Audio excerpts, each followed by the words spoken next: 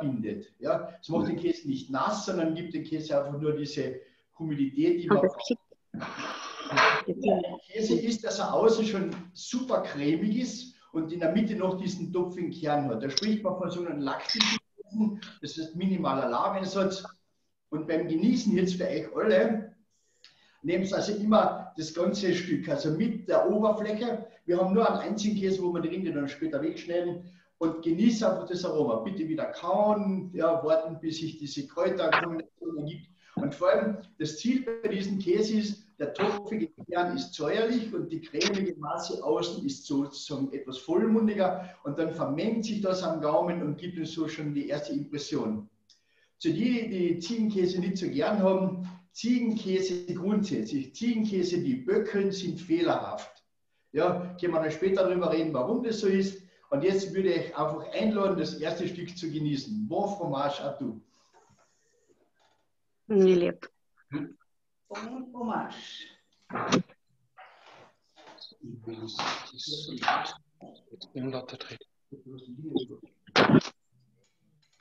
So, Gottfried vom Herrenhof Lamprecht.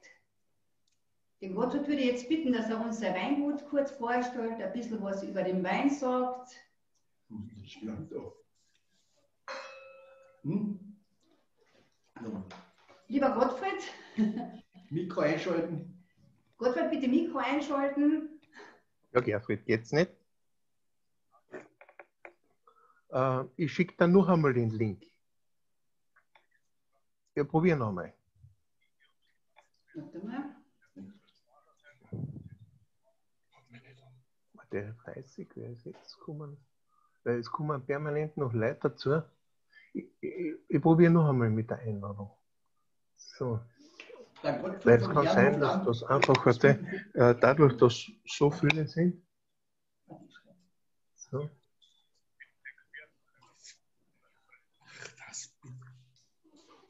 So, also gesendet habe ich es dann nochmal.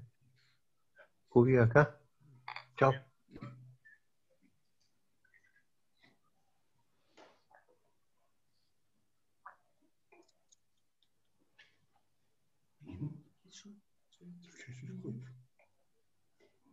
Gottfried?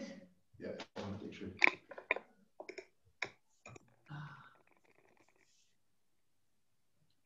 Klaus, siehst du, dass da Lamprecht noch den, das Audio noch genehmigt braucht?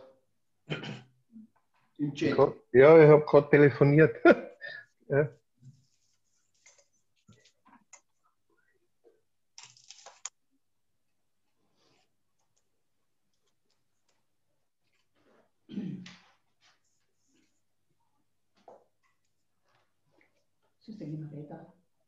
Weitermachen, ja.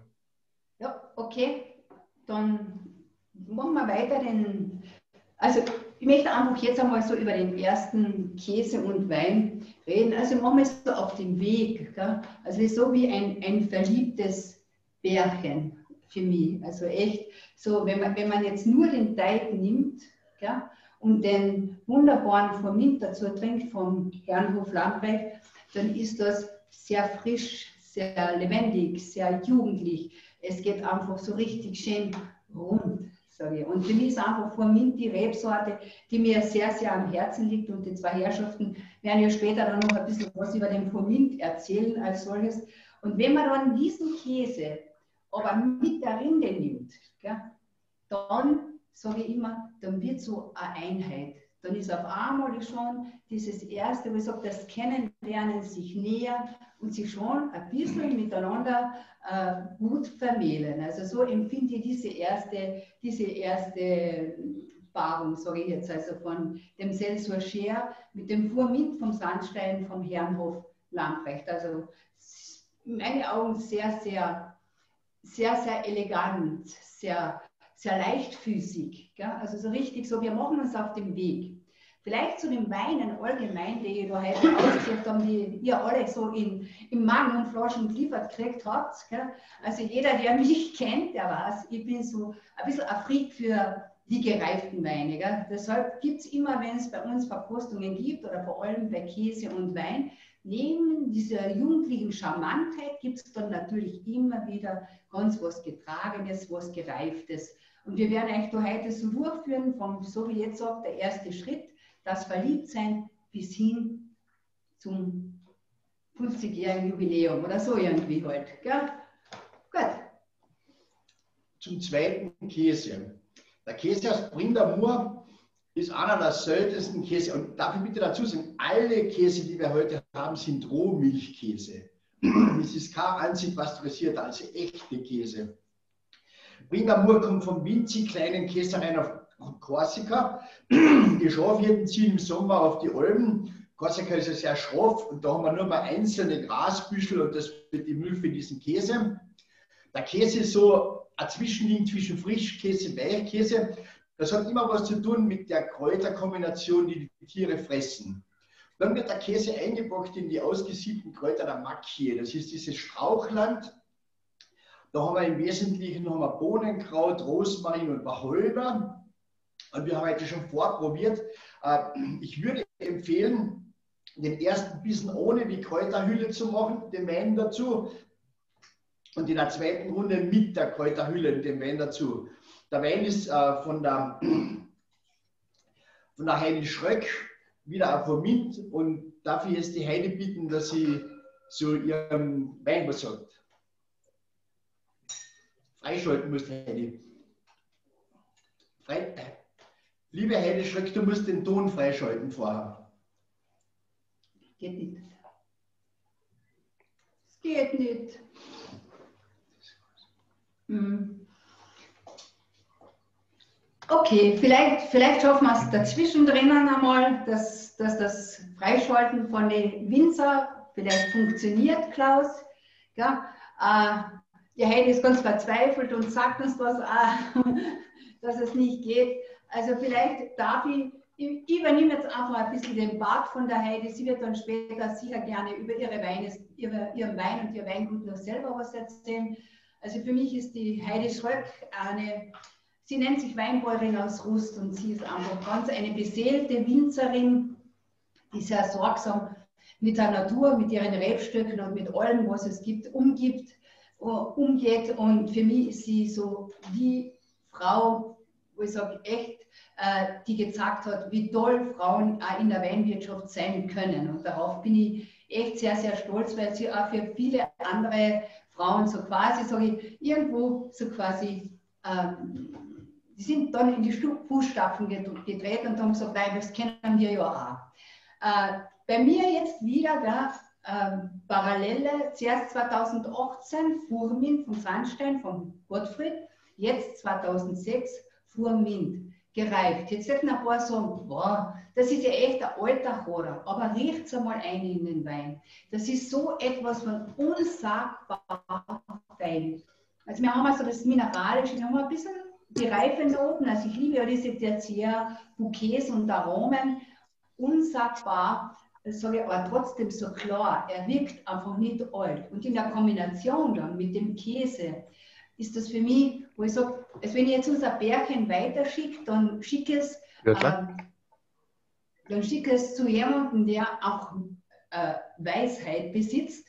Und das war jetzt so mit der Heide, wo ich sage, es geht ins Getragene, es geht um die Rundung. Ja. Sagen, äh, haben, Sie, haben, Sie nicht, haben Sie nicht die Möglichkeit, mit der mit der E-Mail-Adresse einzugehen, äh, Herr Lora, wo Sie, wo Sie äh, uns, uns äh, angegeben haben?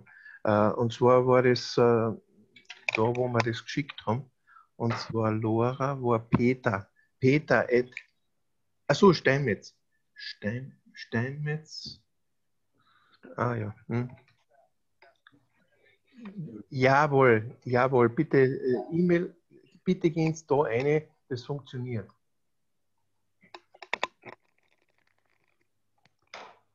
Ja, also für mich so in der Kombination, so wie der Gottfried gesagt hat, zuerst nehmen wir nur den Teig, gell? dann ist das eher ein bisschen säurebetonter, es ist ein bisschen frischer, gell? aber mit der Rinde gemeinsam verstärkt sich der Geschmack sogar auch von diesem Bohnenkraut und Kräutern, die da mit dabei sind. Und der Wein ist ein 2006er. Ich meine, das ist einfach göttlich, diese Vermählung. Ich, ich schwöre es auf, also für mich persönlich auf der Zunge, das ist einfach eine Einheit. Und bitte, ich euch bitten, dass ihr wirklich in den Chat schreibt, wie ihr das selber empfindet. Weil für mich, wenn ich den Wein blind kriege, also ich würde nicht sagen, es ist 2006, das ist immerhin, wir haben ja da 15 Jahre jetzt, also das ist ja nicht nichts. Gell? Also ich bin selber so gefreut, wie ich den Keller gefunden habe und Chapeau, Heidi, es ist einfach großartig, du tolle Vermintmeisterin, also echt grandios. Ich hoffe, ihr könnt später noch einfach ein bisschen was über den Vermint uns erzählen, wenn, wenn wir das mit dem Mikro in den Griff kriegen. Okay, äh, Gut, dann machen wir weiter. Ja, wir gehen jetzt ähm, von, der, von der Regionalität her, gehen wir jetzt in die Champagne. Chaours heißt der Käse. Das, was ihr da habt, ein Stück ist die Hälfte der Höhe. Hat, der Käse ist eigentlich doppelstöckig und es ist der älteste Weißschimmelkäse überhaupt. Chaours ist ein kleines Dorf in der Champagne. Das Kloster dort hat sich intensiv beschäftigt mit der Reinsortzüchten von Weißschimmelkulturen. Und die Mönche dort waren die allerersten, die Weißschimmel reinsortig züchten konnten, um ihn beim Käse dann einzusetzen, weil der weiße Schimmel an der Oberfläche besonders gut auf den Geschmack, auf das Reifeverhalten vom Käse wirkt. Und wenn ihr euch die Stück so anschaut, also unseres hat jetzt so die richtige Temperatur, da seht ihr, dass hier außen vom Rand weg haben wir einen cremigen Teil und in der Mitte ist dieser topfige Teil. Und bei Schaurs würde ich euch bitten, dass wir am Anfang ein Ministück nur vom topfigen Teil nehmen, weil, so ist die Beschreibung für Schaurs, dieser topfige Teil auf der Zunge schmelzen muss wie eine Schneeflocke. Es ist ein herrliches Erlebnis. Man muss ein bisschen Geduld haben, ein bisschen die Zunge bewegen und dann plötzlich schmilzt dieser Teil in einer herrlichen Frische. Man kann dann schon den ersten Minischluck vom Wein drauflegen und feststellen, wie gut die Kombination schon passt. Und dann im zweiten Schritt sozusagen nimmt man topfigen Teil, cremige und Oberfläche in einem, dass man das ein bisschen drei Komponenten hat. Und man kommt bei Schaurs drauf, es ist eine unglaubliche Dichte da. Ja, Weißschimmel haben wir von Haus aus also eine sehr schöne Kombination. Die Kuhrasse übrigens ist da die gleiche wie beim Camembert. Wir haben in Frankreich 13 geschützte ursprüngliche Kuhrassen und für die besonders geschützten Käse ist immer die Kuhrasse angegeben, die für diesen Käse notwendig ist. Also Chaours Champagne. Dazu. Dazu trinkt man jetzt ähm, von der Domain William Febri einen Chablis 2018. Und wenn wir über Chablis reden und Febre, muss ich sagen, äh, der Febre war sicher einer der, der absoluten wichtigsten Köpfe für den Chablis, dass der Chablis diesen Stellenwert erlangt hat, den er jetzt hat. Weil früher haben wir die Weine, was weiß ich, aus Australien oder, oder Neuseeland, jeder hat ja gesagt, ich mache einen Chardonnay, der hat ihm einfach Chablis genannt. Da der hat gesagt, nein, nein, nein, Burschen, so geht das aber nicht, weil Chablis ist Chablis. Das ist unser Städtchen, also in der Burgund, das ganz, ganz was Besonderes ist vom klimatischen her, vom Boden her. Also wir haben ja extreme Kalkböden, Kalkmergel, also echt dieses Mineralische, das diesem Wein eben so zuteil ist. Und wenn man Chablis, sage ich immer, ähm, das ist schon etwas Besonderes, weil die gehen eher in die Straffheit. Also die wollen eigentlich so nicht diese Opulenz des Weines, nicht dieses Dicke, dieses Fette, sondern die Eleganz. Die Mineralität soll im Vordergrund stehen und immer haben wir ein bisschen ein bisschen Grapefruit dabei, ein bisschen Zitrone, so jetzt ein bisschen alles. Das, vielleicht ein bisschen Wiese, grüne Wiese, also eher diese Noten. Und so wie dieser Chablis, der ist jetzt im Stahltank ausgebaut worden gell, und nur zum Schluss ins Finish in Holzfass gelegt worden. Also es ist bewusst eigentlich so diese Straffe, dieses Elegante. Gell? Also beim Chablis haben wir nachher, gibt es in dem, in dem Ort, in den Städten und der kleinen Umgebung, das ich Chablis nennen darf, gibt es nachher eben noch 40 Premier Cru und 7 Grand Crus. Und das ist jetzt wirklich so Chablis, die AOC, klassisch, die ich einfach sehr, sehr genial finde, auch immer zu fischen und allem drum und dran. Und da in der Kombination habe ich, äh, also wenn man jetzt zuerst den topfigen Kern nimmt, ja, dann ist das für mich, äh, kommt das Mineralische eigentlich ganz stark, es kommt die Säure stärker und wenn wir es dann mit, mit der Rinde nehmen, ist es für mich so, wo ich sage, boah, super. Also so wie in der Kirche, gell, wenn wir das Vaterunser beten, da steht noch zum Schluss, der Vater, der Sohn und der Heilige Geist, Amen. Passt einfach eine schöne Kombination. Gell? Also das ist so diese Zugehörigkeit. Ich finde das sehr, sehr elegant und sehr schön. Gut. Also ihr könnt äh, gern eure Kommentare in den Chat schreiben. Äh, wir freuen uns darüber. freuen uns. So, jetzt gehen wir weiter. Jetzt kommen wir natürlich zu einem der Monumente der französischen Käsekunst zu Camembert. Zum Ort Camembert.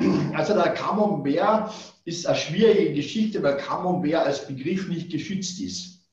Geschützt ist nur Camembert de Normandie AOC. Das ist leider passiert, wie halt oft auf der Welt, dass halt die große Industrie sich an gut etablierten Namen einverleibt. Und wir haben heute nur mehr drei Rohmilch-Camembert-Produzenten, die man sozusagen als private Produzenten betrachten kann. Es gibt ein paar größere, die man schon eher industriell sehen kann. Und der überwiegende Teil, der die Welt überschwemmt, ist aus großen Industriebetrieben.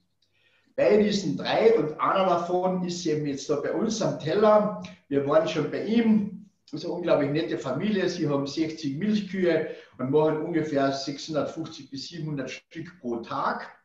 Ja, alles ist Handarbeit. Bei Camembert ist es so, dass die Milch dick gelegt wird und dann stehen gelassen wird. Es wird kein Bruch geschnitten, wie wir das so kennen mit der Käsehafe, sondern die Milch wird, also diese sogenannte Galerte, wird also sich vernichten lassen und wird dann Moule à la Louche, also mit dem Löffel gemahlen. Mit einem Schöpfer werden flache Teile abgeschnitten, die in die Größe der Formen passen und fünf solche Stücke passen dann genau für ein Stück Camembert de Normandie AOC. Die Kuhrasse ist Normand, ist die gleiche Rasse wie vorher bei Chaours, ist aber eine normandische Kuhrasse, großrahmige Kühe, fleckiges Muster von schwarz bis braun. Sie haben dann immer seinen schwarzen, also in der gleichen Farbe, haben sie so einen, einen Ring um die Augen, dient als Sonnenschutz übrigens, und einen sehr ausgeprägten Haarschub zwischen den Hörnern. Man erkennt sie dann sofort und nur die Milch von der Normanden darf für Camembert verwendet werden. Und er ist, er ist räumlich begrenzt und zwar auf das Departement Calvados. Also das Bundesland auf Österreich ausgedrückt ist die Normandie. Der Bezirk ist Calvados. Das heißt, die Normandkühe im Bezirk Calvados, die Milch darf dann zu Camembert de Normandie verarbeitet werden. Zum Genießen vom Camembert bitte, ihr müsst ihn in die Hand nehmen oder mit irgendeinem Werkzeug und ihr müsst einmal außen die Oberfläche rühren und dann riecht es typisch Champignon. Ja? Champignon ist ein Pilz und der weiße Schimmelbitte ist kein Bakterium, ist auch ein Pilz. Ja? Man riecht also typisch diese schöne, äh, diese schöne Champignon-Note und das ist Camembert richtig. Und als Hilfe, wenn man einmal Camembert kauft, ja, er muss am Rand so leichte, dunkle Reflexe geben. Das kann bis zu rot werden. Dann ist Camembert reif. Und Camembert wird nie fließen. Camembert bekommt vom eigenen Jungen ohne, ohne, ohne Probleme, nur mit dem Link. Tschüss, Vom Aroma her äh, hat Camembert seine ganz genaue Typizität. Er ist vollmundig, er schmeckt mehr nach Rahm als wie nach Milch.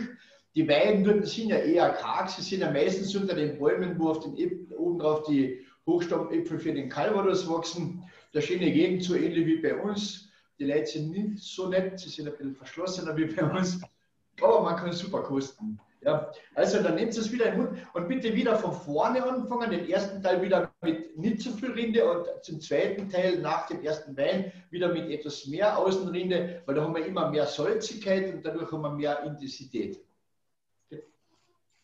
Ja, Markus, Markus Baumratz. Ja, bin dran. Super. Äh, funktioniert das? Ja, super. Bitte, wenn du so den Wein gut vorstellst und, und den Wein, den wir jetzt dazu trinken. Sehr gerne. Vorerst einmal vielen Dank für die Einladung heute. Das ist eine tolle Idee, muss ich, das muss ich ja wirklich sagen. Und das ist ein großer Aufwand, den ihr hier betrieben habt. Das ist schon mal sehr fein. Auf das wünsche ich euch einmal einen herrlichen Prost. Also ein kleines Schlückchen aus, dem Steiermark, aus der Steiermark. Ähm, wir sind ja ein, ein, ein, kleiner Betrieb. Ja. Ihr habt uns schon vor vielen Jahren entdeckt. Äh, wir äh, sind eigentlich, wir haben uns vor gut über 20 Jahren der Qualität verschrieben und haben auch schon sehr gute Erfolge quasi mit Sauvignon gemacht. Das, unser Sauvignon Blanc ist vor allem für uns sehr, sehr wichtig. Ganz kurz ein Betrieb zu, äh, erklärt. Äh, wir haben hier schon zwei wirklich großartige Erfolge erzielt, sind äh, mit äh, gut 15 Hektar ähm, eigentlich noch eine mittlere Betriebsgröße, äh, vermarkten aber hauptsächlich alles in, natürlich in hoher Qualität. Äh, da unterscheiden wir zwischen Klassik, Kranachberg und, Hoch, äh, und Hochberg. Jetzt haben wir ein 2015er Chardonnay Kranachberg. Der ist für mich persönlich jetzt, es kommt langsam zum Höhepunkt. Äh, sehr äh, hervorragend, passt zum Kamen, wäre hervorragend dazu. Perfekt erklärt, Gottfried muss ich auch sagen. Wunderbar, äh, da kriegt man richtig Guster.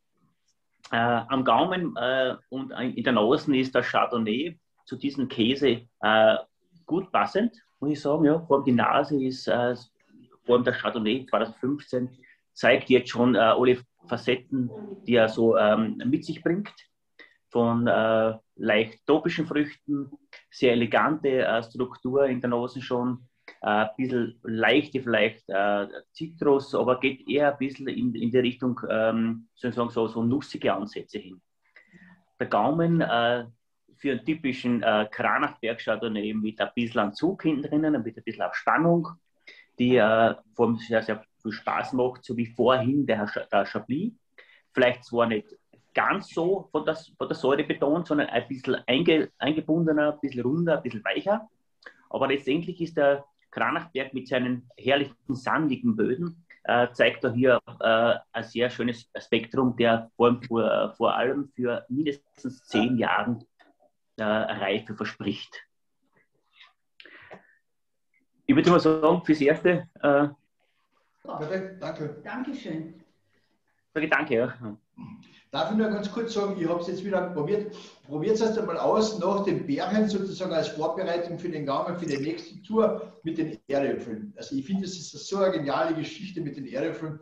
Man putzt sich den Gaumen, ohne dass man die Geschmäcker verliert, ohne dass man was mit Salz vom Brot und so weiter.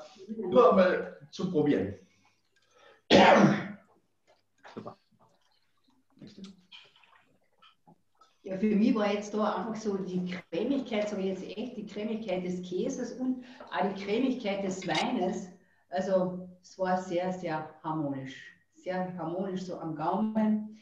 Echt so, äh, wirklich so mit diesem, wo du schluckst, dieses Verschmelzen ineinander. Also das war doch 1A für mich persönlich, ich jetzt. So, das ist ja keine Spaßveranstaltung, das ist ja eine laufende Veranstaltung. Wir müssen weiter. Ähm, so, wir haben jetzt sozusagen die Frischkäse im Sinne von französischen Frischkäsen gemacht. 1 und 2. 2 und 3 war die klassische Weißschimmelreife. Also diese sehr dominante, geschmacksgebende Reife von Weißschimmeln. Äh, nur zur Information, der weiße Schimmel wird nicht aufgesprüht, das ist nur industriell. Ja. Der weiße Schimmel wird bei der Käsepräparation, bei der Zubereitung schon beigegeben ja, und blüht dann an der Oberfläche auf. Ja. Man spricht davon vom Weißschimmel, Rasen, dauernd und das Ganze, wenn die Leipen, also die Leipen werden in Formen gegeben, die Molke kann abfließen, dann werden die einmal gestürzt, dass sich das vernichtet.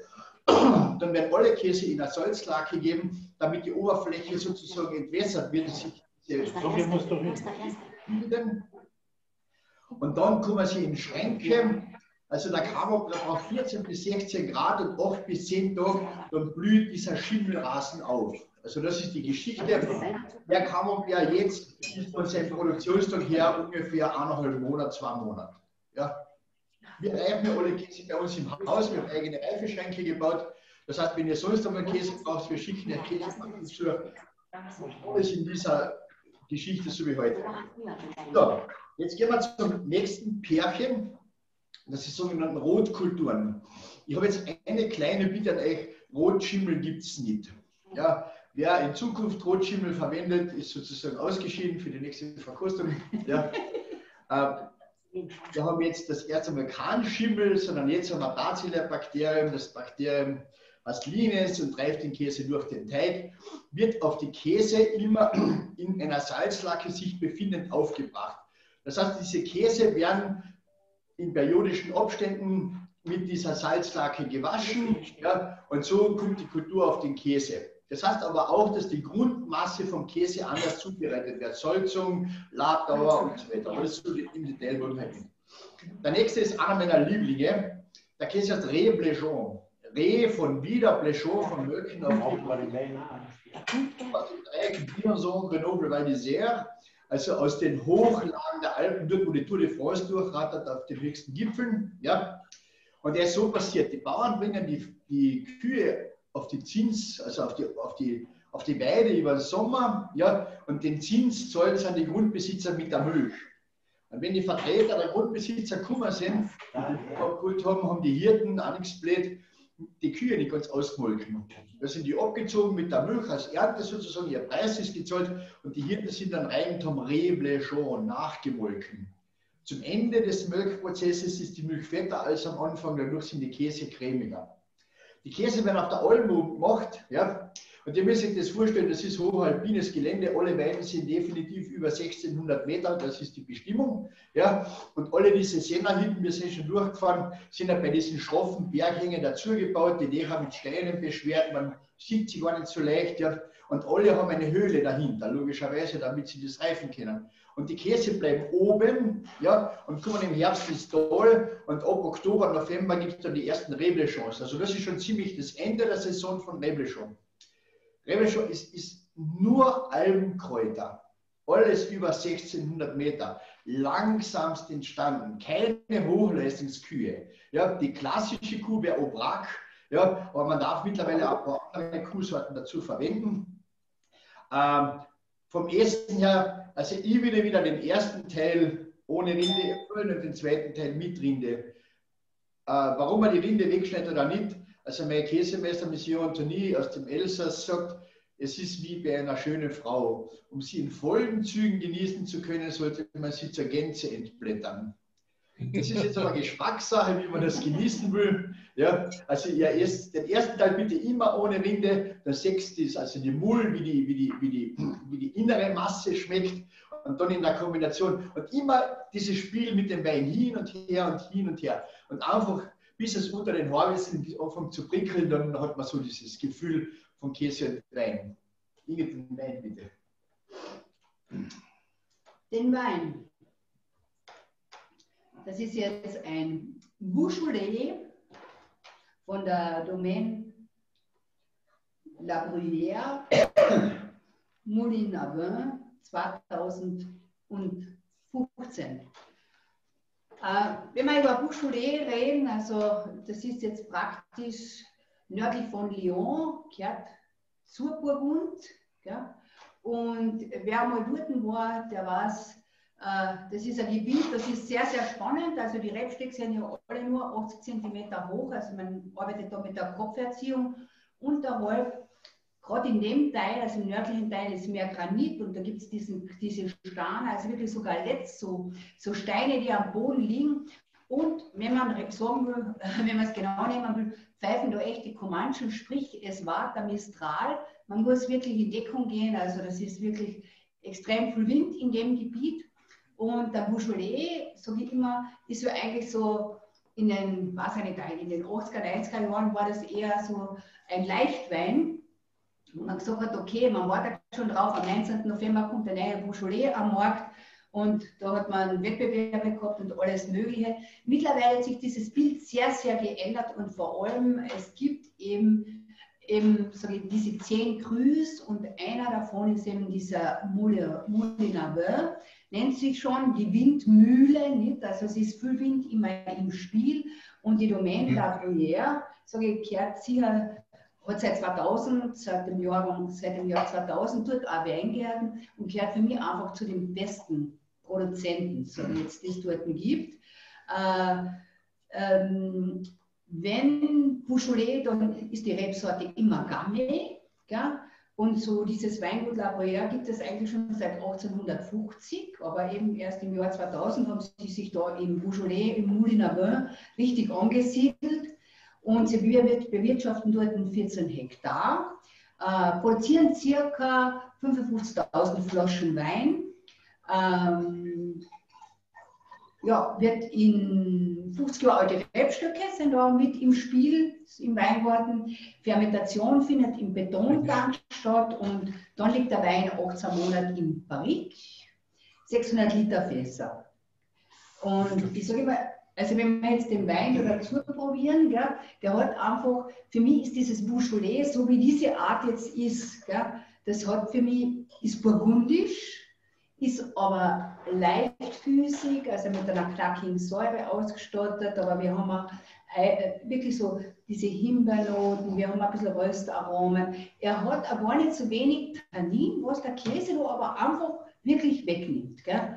Also es ist für mich, muss ich sagen, ich bin ja immer auf der Suche nach Weingütern, wo für mich alles miteinander einfach stimmig ist und passt. Und das ist eins, das mir in den letzten Jahren wirklich sehr, sehr ans Herz gewachsen ist, wenn ich über die österreichischen Grenzen hinauswandere. Gell? Von der Kombination her habe ich zuerst, äh, wenn ich jetzt nur den Teig nehme, ist für mich fast der Wein der Sieger. Ja? Aber danach, gell, also wenn ich es jetzt mit dem Teig nehme, ist das echt eine wunder, wunderbare Vermählung. Es ist zuerst so wie ein bisschen ein Streitgespräch, so wer, wer übernimmt die Führung, aber im Endeffekt dann am Gaumen, wenn man es nachwirken lässt, sind sie sich wunderbar einig, dass sie gut zueinander passen. So ein bisschen von der Stimmigkeit her, halt von mir aus gesehen. Äh, ich würde jetzt einmal so einfach in die Runde fragen, weil ich habe ja eigentlich da keinen Alkohol, ich habe halt eingeschrieben.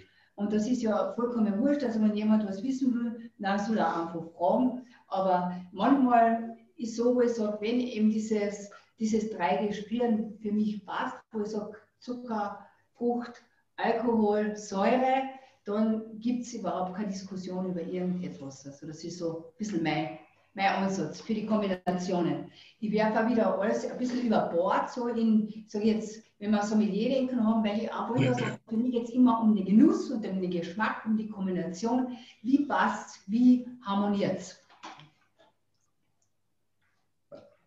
Gut. Es harmoniert sehr fein und ich bin ja ein Beaujolais-Geschädigter aus den 70er und 80er Jahren und habe daher schon sehr lange keinen Beaujolais mehr getrunken, aber ich habe gehört, dass sie deutlich besser geworden sind und dieser auf das und bei dem trifft das ganz sicher zu. Ganz toll. Danke, Luigi. Dankeschön. So, äh, jetzt ist so normal, also im Zirkus war jetzt dieser dreiminütige Trommelwirbel, gell, so, weil es kommt ein sehr außergewöhnliches Pärchen auf uns zu. Äh, das eine ist äh, der König aller Weichkäse Frankreichs, Munster. Wie wir Münsterkäse sagen. Ähm, Münster, also Munster Monasterium heißt Kloster. Ja, kommen dort aus dem Wallmunster, das ist äh, im südlichen Elsass. Also wir würden es nicht als Tal erkennen, es ist eine leichte Senke. Ja. Die Kuh ist die Pierre Rouge, die rotfüßige. Ja. Nur die Pierre Rouge ist zugelassen für Münsterkäseproduktion. Äh, das ist jetzt das Sohn. Wir waren dort, seine Mama mit 92 Jahren hat mit ihren fünf Milchkühen nur Münster und nur für Antonie gemacht. Ja, der Sohn führt das jetzt weiter, Monsieur Philippe. Ja, eine sehr spannende Geschichte. Nur einmal der Hintergrund. Zum Käse selber. bei Münster sagen sogar wir Käsemenschen, dass man von einem etwas intensiven Geruch sprechen darf. Wir können das Wort stinken nicht verwenden. Ja, das heißt, ich würde euch jetzt bitten, das ganze Stück zu nehmen, an die Nase zu führen, tief einzuatmen und dann hat man so richtige Rotkulturaromen. Ja, also sehr, sehr kantig, ja, sehr eindrucksvoll. Und das Lustige am Münsterkäse ist das, dass wir es dann beim Verkosten nicht mehr haben werden. Ja? Äh, ich habe ein Rezept, wenn jemand Münsterkäse verkochen will, man, kann, äh, man schneidet ihn in der Mitte durch, also flach, ja? dann legt man frisch gekochte Erdäpfelscheiben und schiebt ihn dann für 45 Minuten ins Rohr und zieht es dann raus und genießt das Ganze mit sehr viel Kirschschnaps. Bitte braucht man viel Kirschschnaps und vor allem, das soll man immer beim Nachbar sein Rohr machen, weil das eigene Rohr ist dann ein Jahr lang außer Gefecht vom Geruch her. Ja. Ähm, wenn wir diesen Geruch genossen haben, dann darf ich euch wieder bitten, äh, diese rindenlose Variante zu nehmen. Als erstes mit dem unglaublichen Wein, der dazu kommt. Und das zweite ist aber dann unbedingt mit der vollen Rinde. Und ich bin dann eigentlich von der Beschreibung her fertig. Aber ihr müsst dann auf euch selber hören, wie im Gaumen plötzlich die Würzigkeit vom Käse und die Markantheit des Weins verschwindet und ein gemeinsam ganz neuer Geschmack entsteht. Ja? ja. Also das ist eine grandiose Geschichte. Das ist äh, Le Mariage de Fromage die Hochzeit von Käse und Wein. Viel Spaß. Also das ist eine super Kombination. Ich habe es jetzt schon zweimal die, also die, die ergänzen sich großartig, diese beiden. Das ist jetzt ein Gewürztraminer, nicht? Aus dem Jahre 2000. Ja. Ähm, Habe ich das richtig gelesen? Genau. Ja, ich weiß jetzt nicht, ob der Manfred Themen. Ja, da sind Sie. Hallo. Ja, Herr, Servus. Also, Themen sind live dabei. Äh, freut mich sehr, dass ihr euch Zeit nehmt, mit dabei zu sein. Und ich würde euch einfach bitten, dass ihr ein bisschen über euer Weingut erzählt und vor allem äh, über diesen Wein, über diese Rarität. Das sind 21 Jahre, das ist, das ist ein Wahnsinn. Und ich bin immer so stolz, wenn ich so Schätze in meinem Keller finde. Und dann habe ich gedacht, ich muss unbedingt schauen, dass wir die Themen mit dabei haben heute. Schön, dass ihr da seid. Bitte. Also hört man uns? Ja, sehr ja, gut. Sehr gut. Also dann, dann sagen wir mal ganz, ganz liebe Grüße aus der Südsteiermark von der Lage Zierek. Wir sind Heidi und Manfred Dement. Wir sind die, wir sind die Seniors mittlerweile. Unseren, unseren Betrieb führen ja äh, der, der Armin und der Stefan. Äh, wir helfen natürlich mit, aber, aber machen mittlerweile auch ganz andere Sachen, wie zum Beispiel die Winzereien, also unsere unsere, unsere Zimmer, unsere Chalets, vor allem meine Frau, die Heidi. Vor allem möchte ich euch einmal recht herzlich danken, Ingrid und, und Gottfried. Ich glaube, ich glaub, das stimmt fast aufs Jahr genau. 2000 dürfte es gewesen sein, wie wir bei euch die Arachon-Präsentation gemacht haben. Genau. damals, hat der, damals hat der Tiber noch gelebt und ja. mittlerweile gibt es ja auch die Illa nicht mehr, ja. die Illa Semesch, also mit dem Arachon-Projekt. Und es ist an der Zeit, dass wir euch wieder mal besuchen. Ja. Äh, äh, was für uns wunderschön ist, wir machen das zum ersten Mal. Und es ist unglaublich, was man von euch lernen kann. Also wie, wie, wie toll ihr das macht. Also wir, wir genießen das sehr. Aber jetzt vielleicht ein paar Worte zum Weingut. Ich habe hab vor 45 Jahren begonnen, äh, ganz klar mit, mit zweieinhalb Hektar. Wir bewirtschaften mittlerweile 85 Hektar in der Südsteiermark und, und 25 im benachbarten Slowenien. Ähm, haben mittlerweile den gesamten Betrieb auf, auf biologischen Anbau umgestellt, auch, auch, auch auf der slowenischen Seite.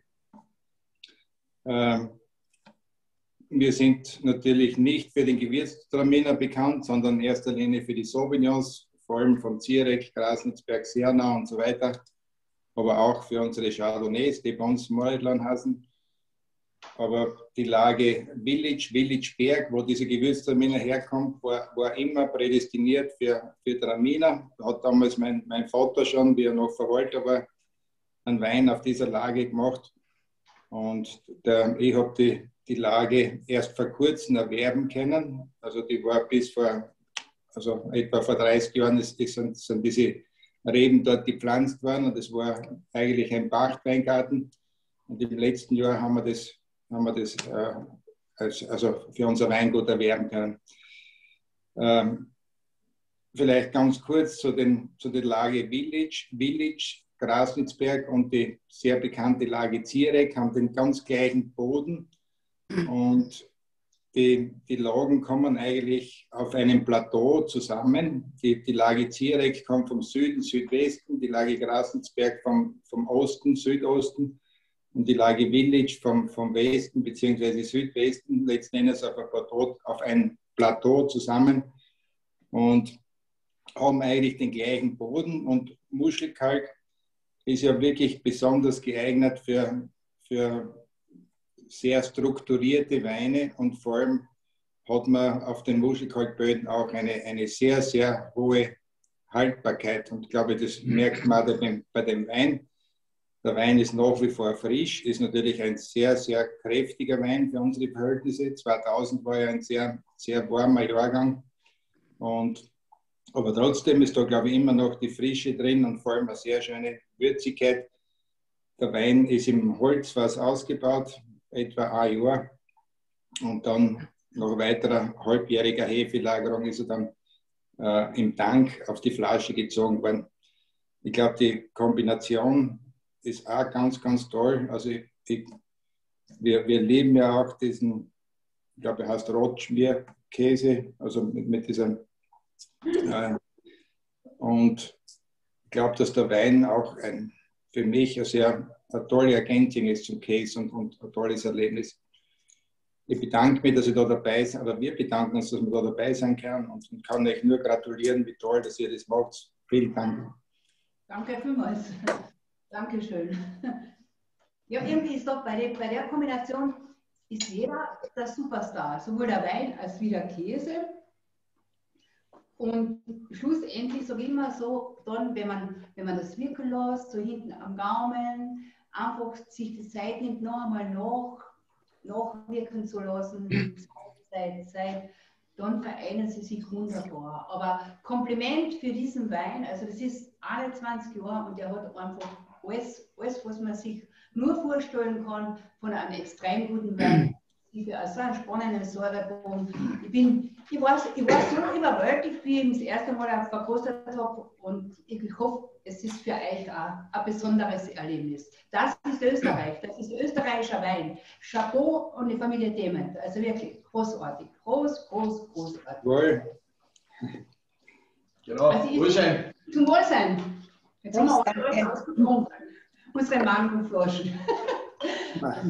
Also ich weiß, so viele Flaschen Wein habe ich noch nie in einem Abend ausgetrunken wie heute. Das ist also richtig. Ja. Dass der Gottfried Lamm jetzt zu Wort bitten für den ersten Wein noch, für dein Weingut, für den Vormint und warum Vormint?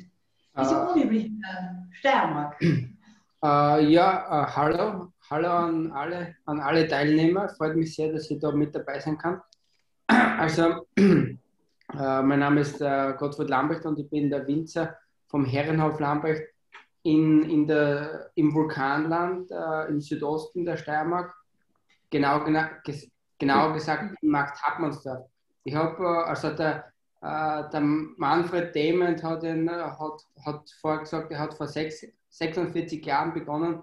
Ich habe vor 15 Jahren meine ersten Reben äh, ausgepflanzt wieder am Herrenhof. Also da, man, da ist schon eine gewisse, eine gewisse Zeitspanne drinnen. Also äh, ich habe alles wieder neu ausgepflanzt äh, auf einem alten, auf einer alten Rede, die früher dem Stift vorgehört hat. Deshalb heißt der Hof auch Herrenhof.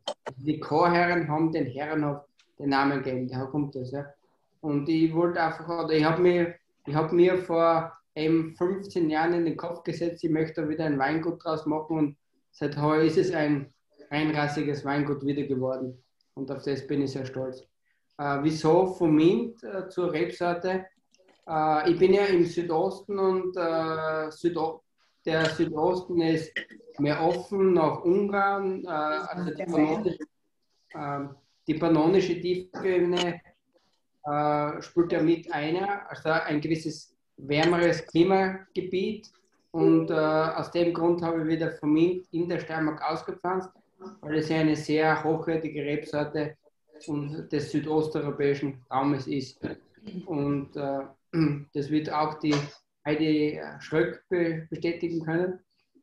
Und äh, also mein Vermin äh, stammt, meinen ersten Vermin habe ich 2010 gepflanzt, also die Rebstöcke sind mittlerweile elf Jahre alt.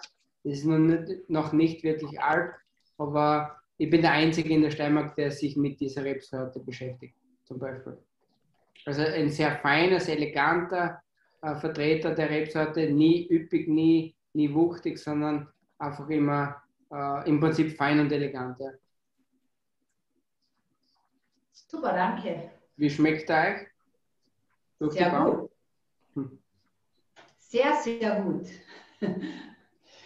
Sehr, sehr gut. Warum, warum meinst du, warum der in der Verkostung dabei ist?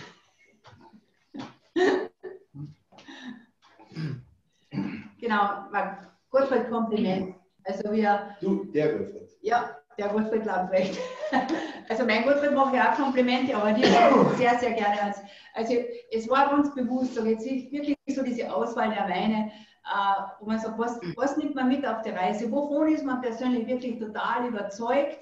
Und äh, wenn es dir was wert ist, also für, für, uns ist dein Weingut, so wie wir dort waren, und deine Art, Weine zu benefizieren und zu leben und deinen Weingarten zu betreuen und zu bearbeiten, äh, hat bei uns einfach ganz ein beeindruckendes, wir sagen, äh, es ist nachwirkend hm. für uns. Das ist, wo man gesagt haben, wenn wir was machen, also du bist immer mit dabei.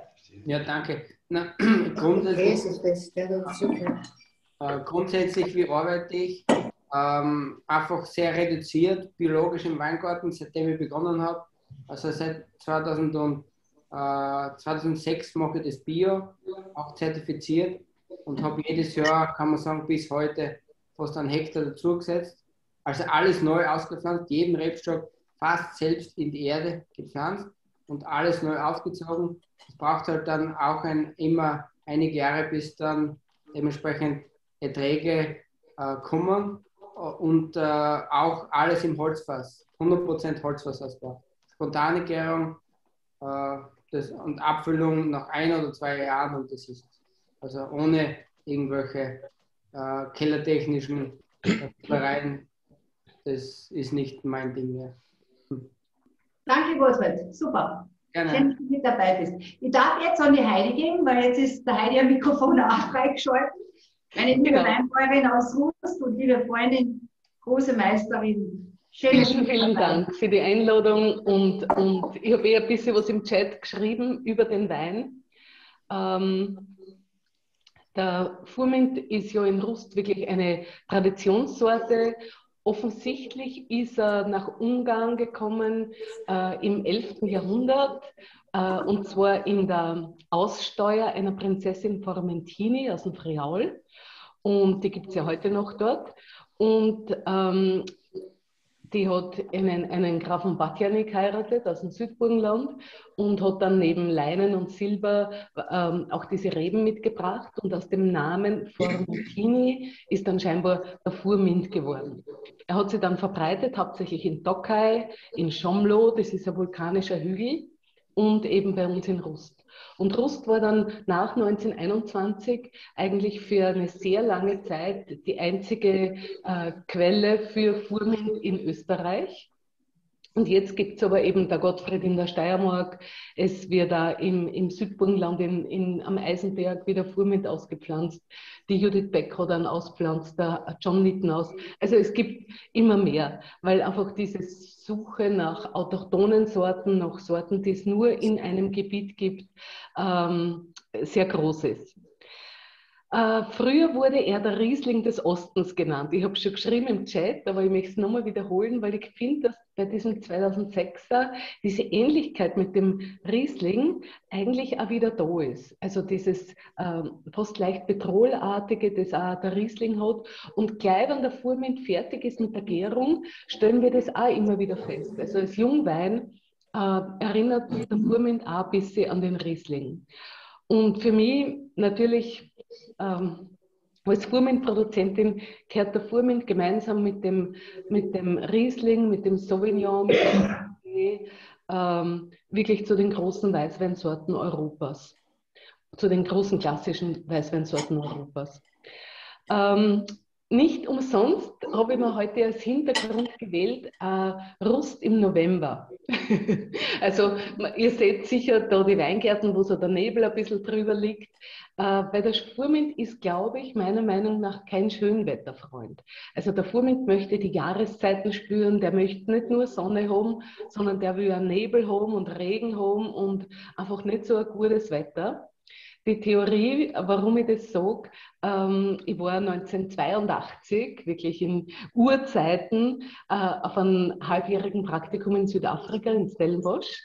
Und die Winzer damals haben gesucht nach einer Weißweinsorte, die spätreif ist und einiges an Säure hat. Und die ungarischen Weinbauleute unten, die haben gesagt, na, wir haben sowas. Und dann haben sie, da war ja noch Apartheid, über dunkle Kanäle äh, sind sie irgendwie zu Furmintreben gekommen, haben die ausgepflanzt. Aber ich habe, und viel ausgepflanzt. Und später hat man eigentlich ganz selten, also über ein einziges Mal einen etikettierten Furmint wirklich gesehen. Äh, und das ist meine Theorie, meine persönliche, dass es einfach zu warm ist. Also der Furmint will einfach dieses mitteleuropäische Klima haben, wo halt nicht alles nur so sonnig ist, die ganze Zeit. ja. Persönlich fragen, wie dir jetzt der 2006er Heide gefällt. Ja, unglaublich gut. Wir haben zufällig, also wir haben jahrelang nicht verkostet und zufällig neulich war jemand da, da haben wir eine Flasche aufgemacht und da hat er uns schon sehr gut gefallen. Und wie du dann angerufen hast und gesagt hast, dass der heute dabei ist, haben wir gedacht, das ist echt eine, eine großartige Sache. Er hat eben diesen kleinen Restzucker dabei. Ich kann es jetzt nicht genau sagen, 5, 6 Gramm circa. Aber ich glaube, dass dass dieser Restzucker ihm äh, einfach dieses, dieses Rückgrat verleiht für diese Jugendlichkeit, die er jetzt äh, präsentiert. Und hat zu der Asche also wahnsinnig gut passt. Und es, ähm, er wird ja immer, immer wieder ganz gern verglichen mit dem Chenin Blanc. Und dadurch, dass der ja an der Loire wächst und der Käse auch von der Loire war, ähm, ja, wiederholt sich das wieder.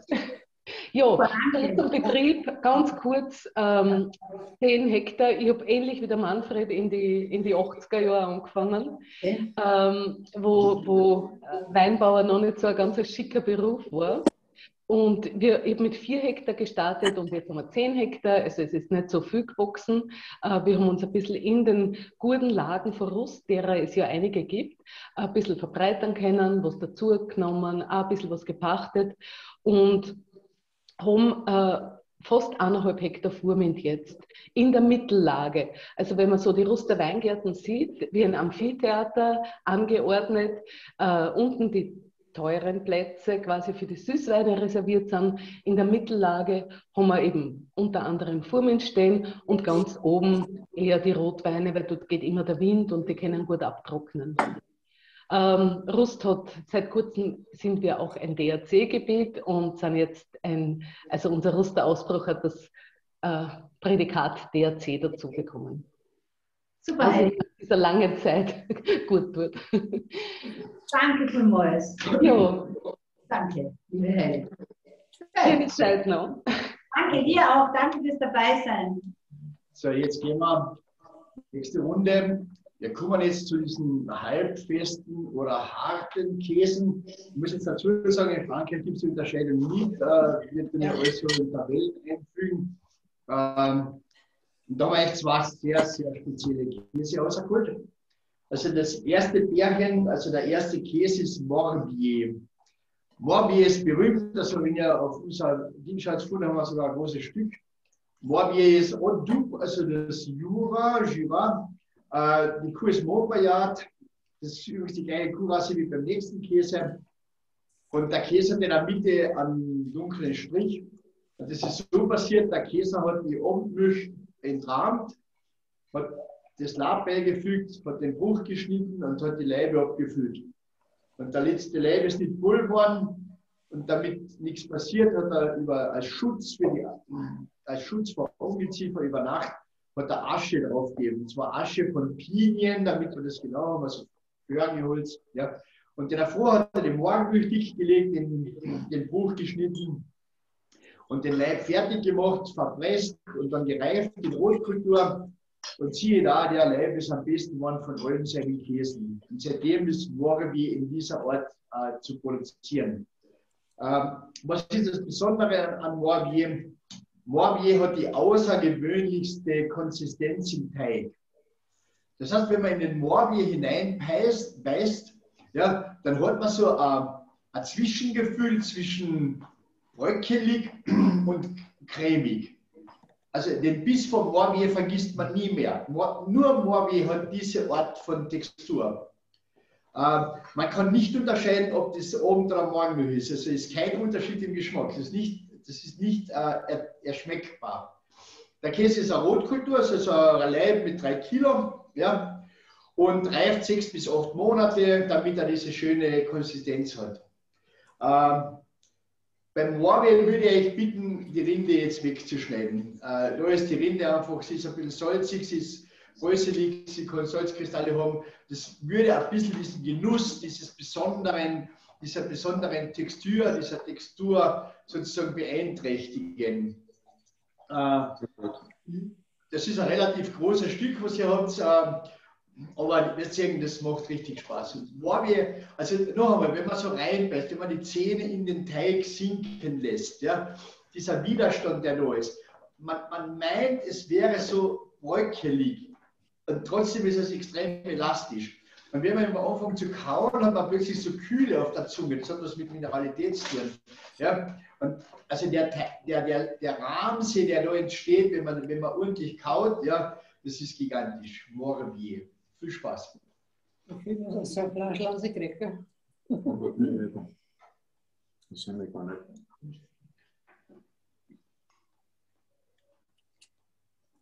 Ja, vom Wein her sind wir jetzt im Medoc mit 2016 Chateau du Retour. Ähm, es ist natürlich ein Cuvée, Bordeaux, jawohl, 71% Cabernet Sauvignon, 23% Merlot und 6% Petit Verdot. Also die Weingärten von diesem Weingut waren eigentlich sehr verwildert und im Jahre 1950 hat eine, eine gewisse Familie Kopp äh, diese Weingärten erstanden und seit damals gehen sie eigentlich sehr, sehr, wie sagen, reduktiv mehr oder weniger vor. Also es sind 30 Hektar 6000 äh, Rebsteck ungefähr pro Hektar und das Durchschnittsalter der Reben ist halt jetzt zwischen 80 und 9, 80, zwischen 30 und 40 Jahren so in etwa. Äh, sie arbeiten biologisch. Äh, Weingärten wird wieder mit, der Weingarten wird wieder mit, Pferd, mit dem Pferd bearbeitet, also um diese Boden, um dieser Bodenverdichtung vorzubeugen. Vom Boden her haben wir natürlich so wie es in der, im Bordeaux ist, Kies und Lehm, also mehr Lehmboden mit Kiesauflage. Und sie machen eigentlich sehr, sehr eine sehr bewusste sage, Ertragsbeschränkung. Und dieser Frederik Koop, der war vorher, dieser Frederik Koop, der war vorher der Kellermeister von Chateau Palmer. Und was das Besondere ist, eben, dass dieses, dieses Weingut eigentlich direkt an die Appellation Margot angrenzt. Und auch stilistisch orientiert er sich mehr oder weniger, also jetzt wirklich so Margot, also wir haben ja eher diesen schwarzbeerigen Stil, Fruchtbouquet, Cassis, Kräuter, so Röstaromen, ein bisschen schwarzen Tee, Kirsche und von den Tanninen her ist das so, wenn man den Wein frei trinkt, so jetzt, ist er, hat er eher eine kräftige Tanninstruktur. In der Kombination mit dem Käse wird das dann eigentlich total verschwinden, wenn ihr es gemeinsam nehmt. Gell? Also so, aber ich bin halt immer auf der Suche so nach Weingütern, wo ich sage, wow, das ist spannend, das ist auch für uns in der Gastronomie so jetzt gut leistbar und wovon ich einfach selber überzeugt bin. Also ich, ich bringe immer so, wo ich sage, okay, das kennt vielleicht noch niemand so genau, aber mir persönlich schmeckt es extrem gut und ich kann einfach das äh, wunderbar mit Speisen oder eben mit Käse kombinieren. Und ich glaube immer, darauf kommt es an. Also das ist da für mich so der Zugang, wie wird gearbeitet, wie schaut es dort aus. Äh, ja, so, so suche ich meine Weine aus. Und ich hoffe, er passt euch auch zu diesem Moavier ganz gut dazu. Ja. Ja. So, es ist ein Abend der Höhepunkte. Äh, der berühmteste, der bestbewährteste, der, weiß ich nicht wie, Hartkäse in Frankreich ist Comté. Comté ist, ich zeige euch einmal nur, sieht man so, sieht man ganz gut, gell? Comté sind 40 Kilo Level. Kommt aus der Franche-Comté, das ist so der Käse aus dem Bundesland, Burgenländer. Ja, ist Montbayard? Montbayard ist äh, im Kloster Montbayard von den Mönchen über Jahrhunderte eine gezüchtete Rasse äh, und ist ganz was Wichtiges in der Käselandschaft. Ähm, und zwar haben wir da bei den Höfen haben wir jetzt eine, eine interessante Geschichte. Comte, also der Hartkäse, kommt nur aus der Sommerfutterperiode. Das heißt, nur wenn es grüne Weiden gibt, aus der Milch wird Comté gemacht, der Hartkäse.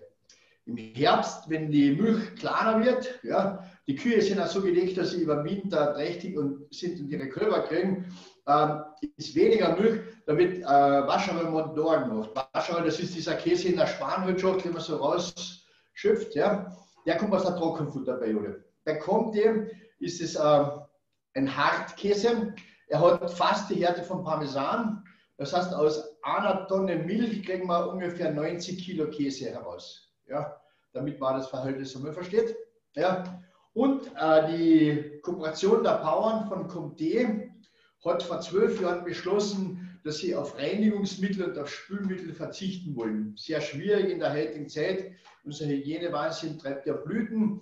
Man hat das dann in einem Projekt EU gefördert und unterstützt und kontrolliert gemacht. Das heißt, sie reinigen ausschließlich mit heißem Wasser. Und die Milch wird melkwarm verarbeitet.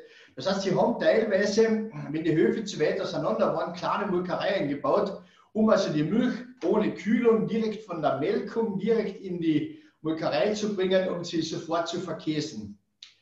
Nach, nach sechs Monaten Verzicht auf Reinigungsmittel war in den Käsereien äh, das Mikroklima wieder so, dass die Milchsäurekulturen, die ja außen sind, ist ja nicht in der Milch, wieder los sind und die Milchsäuren. Wir müssen ja die Milch zum Verkäsen, müssen wir die Milch säuern. Das heißt, Milch ist ja von Natur aus äh, sauer mit, mit äh, 5,5 äh, pH-Wert. Wir müssen auf 6,5 kommen. Das kann man nur machen mit Milchsäurekulturen, damit das Lab dort ordentlich wirken kann. Ja? Durch das Möckwarme verarbeiten spart man sich natürlich das Runterkühlen und dann wieder das Raufwärmen. Das ist ein unheimlicher Ersparnis und hilft natürlich der Milch. Die Winzer wissen, wie schonend man umgeht mit dem Grundprodukt, desto besser ist das Ergebnis. Kommt in seiner, also das, was wir da haben, bitte, das ist Juni 19. Ja? Produktionsdatum Juni 19, kommt der 40 Kilogramm bleibt, jetzt angeschnitten. Ja? Das ist so der Inbegriff von Hartkäse. Textur, also wieder Beschaffenheit vom Teig, ist jetzt eher so bröckelig, ja, aber unglaublich schnell schmelzen. Zweimal beißen und schon entsteht der Rahmsee. Ja. Also ich sage immer, das ist ein Rahmsee auf der Zunge. Ja. Grandioser Käse mit einer unglaublichen Süße. Ja. Je hochwertiger die Milch, desto süßer werden die Käse, wenn sie reifen. Ja. Kommt, wird nur mit Salzlacke gewaschen und zwar beobachten die Käser genau, wann sie äh, waschen müssen. Das heißt, wenn die Rinde droht trocken zu werden, wird sie wieder mit einem Tuch eingerieben, wieder gedreht, die Leibe zu, wenn sie aufbewahrt. Und dann wird mit Klopfen festgestellt, wann die Reife da ist. Das ist eine Reserve, also aus 2019. Und das kann man richtig schön genießen. Und dazu haben wir, glaube ich, Glück beim Wein. Da haben wir Glück, ja. Beim Wein haben wir Glück. Äh, das ist so, wo ich sage, vorher Bordeaux Blend, jetzt einmal Bordeaux Blend Österreich, das Glück. Ja, für mich, äh, wo ich sage, ich bin glücklich, dass ich dieses Weingut oder, oder diese Familie kenne und von Anfang an eigentlich bei der Entstehung der Weine irgendwo mit dabei war. Und ich darf jetzt den Luigi Vollner und die Dagmar recht herzlich begrüßen und ich bitte euch, dass ihr ein bisschen was über euer Weingut erzählt und, und über den Wein. Dagmar, schau noch einmal einer, wir sehen dich nicht.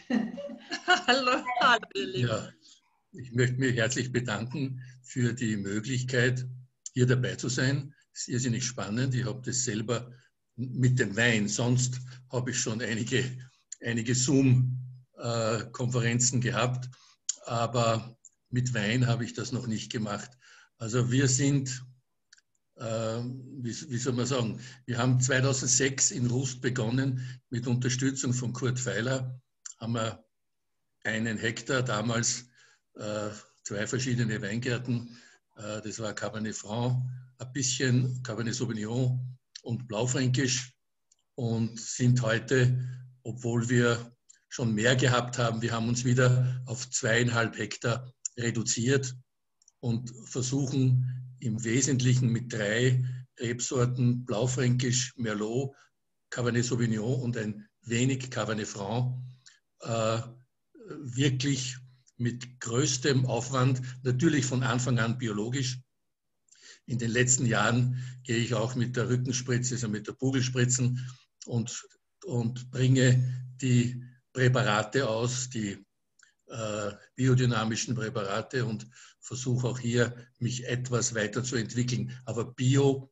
war für uns von Anfang an absolut äh, ein, ein, eine Bank. Da gab es keine Überlegung. Ich habe das auch damals schon beim Kurt im Keller schon, schon umgesetzt äh, mit Spontanvergärung seit, seit dem ersten Jahrgang. Ja, wir haben, ich, wie ich begonnen habe, war ich ja noch in einem, in einem klassischen Beruf tätig. Mittlerweile bin ich im Ruhestand, aber der Ruhestand heißt, dass wir noch mehr in den Weingärten arbeiten. Seit 2014 sind wir kellertechnisch vom Kurt Feiler zum John Nitten ausgewandert und haben dort eine tolle Familie mit eine große Freundschaft äh, und, und ein hervorragendes Klima, das mir jedes Mal Freude bereitet, wenn ich dort bin. Ich war erst vorgestern wieder nachmittags beim John und bei der Anita und auch bei den Söhnen. Und ich bin praktisch auch während der Zeit, wo der Wein reift, immer wieder zu Verkostungen dort. Also ist eine schöne, eine schöne Symbiose, würde ich jetzt sagen. Und äh, wie wir zum Wein gekommen sind, ist eine, eine ganz lange Geschichte. Äh, äh ich, ich, ich bin in ganz, ganz jungen Jahren von meinem ersten Schwiegervater infiziert worden und das hat mich nicht mehr losgelassen. Und ich habe immer den Wunsch gehabt, selber äh, auch einmal Wein zu produzieren. Und das ist dann im Jahr 2006 gelungen. Wir wollten schon vorher mal auswandern, aber das haben wir Gott sei Dank nicht gemacht, weil da wären wir sicher gescheitert. Äh, wir wären damals in, im, im Morellino-Gebiet gelandet, in der südlichen, in der Provinz Grosseto, in der südlichen, aber es ist eine wunderschöne Gegend aber ich glaube, das hätten wir nicht erpackt.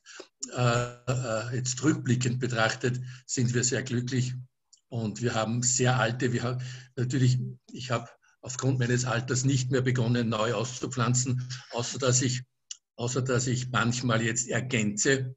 Wir haben die meisten, wir haben einen, einen Blaufränkisch Weingarten, haben wir, der ursprünglich in den 50er Jahren Welschriesling war, der im Jahr 2000 äh, mit einem Marildan, mit einem Marienthal-Klon um, um äh, äh, ver, veredelt wurde. Und daher die Wurzelstöcke sind schon um, um, um die 60 Jahre. Und dann haben wir am Ritter, das ist eine ganz tolle, die ältest benannte Lage von Rust, wie mir der Herr Schandl gesagt hat. Ich hätte das selber nicht gewusst. Äh, da haben wir jetzt einen halben Hektar, wenn wir noch einen dazugenommen haben vor ein paar Jahren. Äh, Und, und, und, das ist auch eine ganz, ganz tolle Lage und auch alte Stöcke aus den 70er und 80er Jahren. So, das wäre es äh, von, von unserer Seite. Äh, wir sind sehr, sehr, sehr viel im Weingarten unterwegs, das ganze Jahr über. Wir bearbeiten die Weinstöcke ausschließlich mit Hand und Schere. Es wird da nichts mit, mit irgendwelchen anderen Traktoren herumgeschnitten. Äh, und, und wir versuchen, das Beste daraus zu machen. Und das, ich habe so, hab so den Eindruck, es gelingt immer wieder. Danke, lieber Gottfried und liebe Ingrid. Ihr zwei, wir kennen einander seit Jahrzehnten mittlerweile. Ihr habt uns auch 2001 bei der Hochzeit im Schloss Halleck betreut und wir waren schon, ich glaube, 50 Mal bei euch in den letzten, in den letzten 30 Jahren. Danke vielmals für die tolle Freundschaft. Danke. Danke dir. Luigi, willst du noch etwas über das Glück, nur über, die, über den Rebsorten sagen? Das, das, Glück, das, das Glück entsteht bei uns, indem wir zuerst immer zuerst immer die, die besten Fässer versuchen zu kübitieren für den Blaufränkisch, dann die besten Fässer für den reinen Merlot und dann schauen wir, dass wir eine tolle, äh, äh eine tolle äh, Liebe kriegen, die, die überwiegend aus, aus, aus äh, Cabernet Sauvignon und, dem, und meistens auch den Cabernet Franc dabei, aber das ist nicht immer gleich, und, und Merlot. Und wenn dann Fässer übrig bleiben, was meistens der Fall ist, dann, wird, dann werden die zusammengeführt und das ist dann das Glück. Und das war 2011 ein ganz hervorragendes Glück. Ja.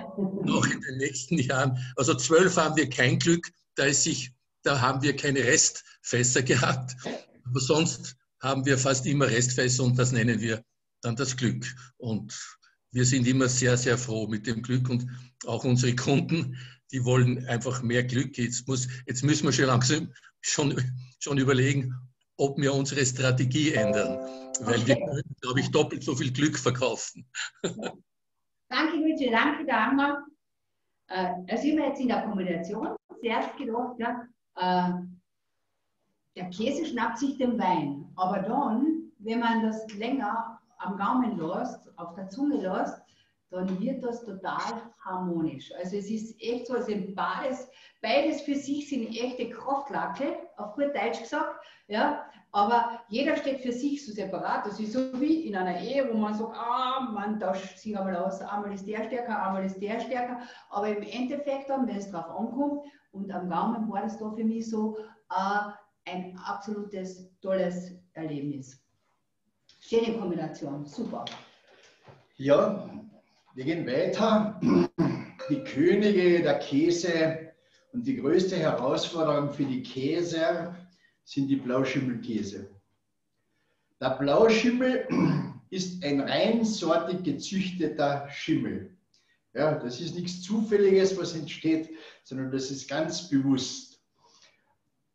Die wichtigste Sorte Blauschimmel ist äh, der Schimmel von Roquefort. Schafmilch Blauschimmelkäse. Nur zur Erwähnung, 1411 wurde niedergeschrieben, wie die Qualität von Roquefort zu erhalten ist. Ja, wir haben heute keinen Roquefort, das werde ich dann erklären.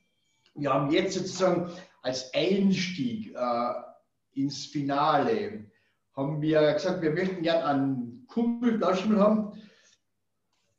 Und für Kummel Blauschimmel gibt es ein paar Möglichkeiten, blöder Bären.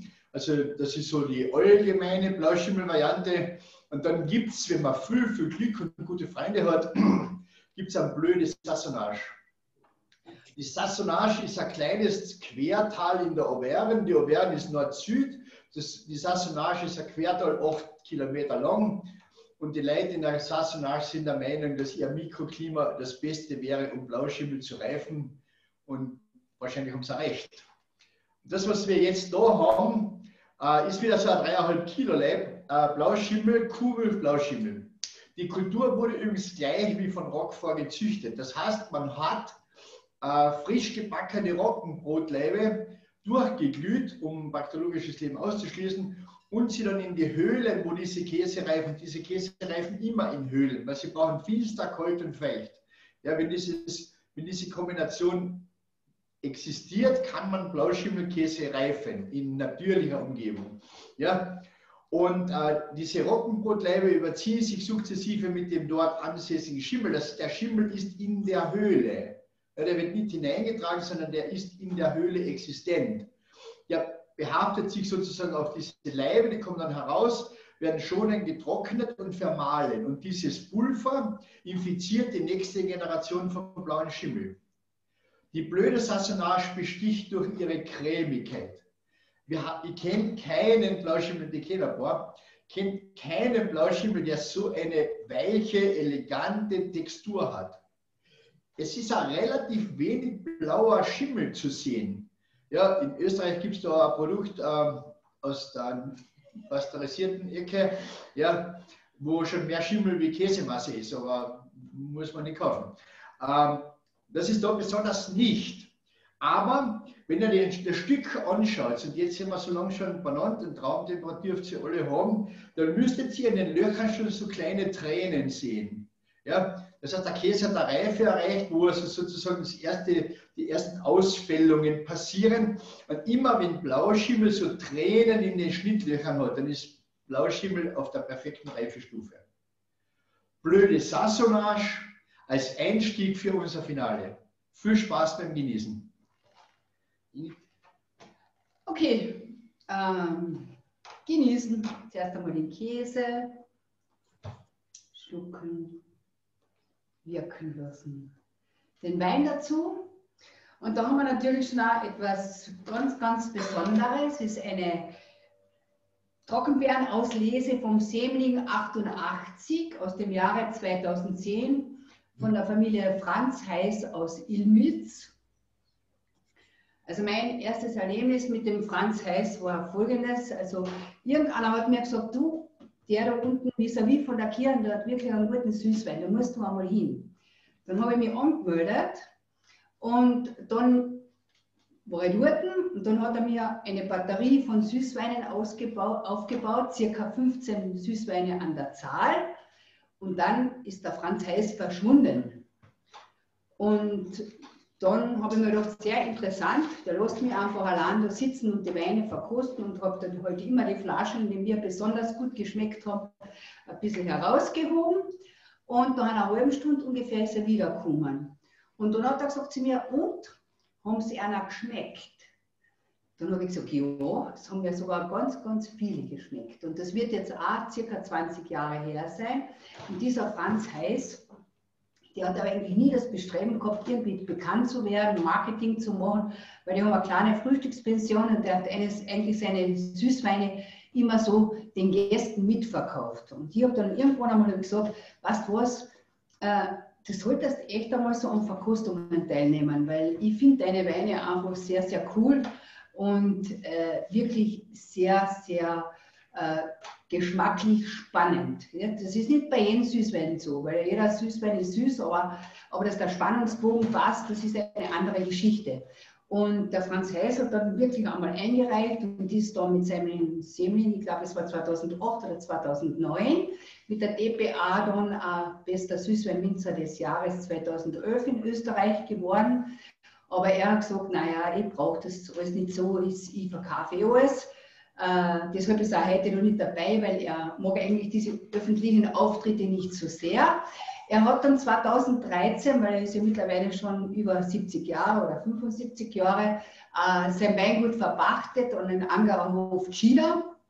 Und die betreiben jetzt seine Weingärten. Ich habe immer irgendwie gehofft, dass er mir adoptieren wird, aber leider hat Leider hat er das nicht gemacht, aber auf jeden Fall war jede Fahrt mit ihm durch seine Weingärten war ein spannendes Erlebnis, ohne dass er seine Kollegen irgendwie verteifelt hat.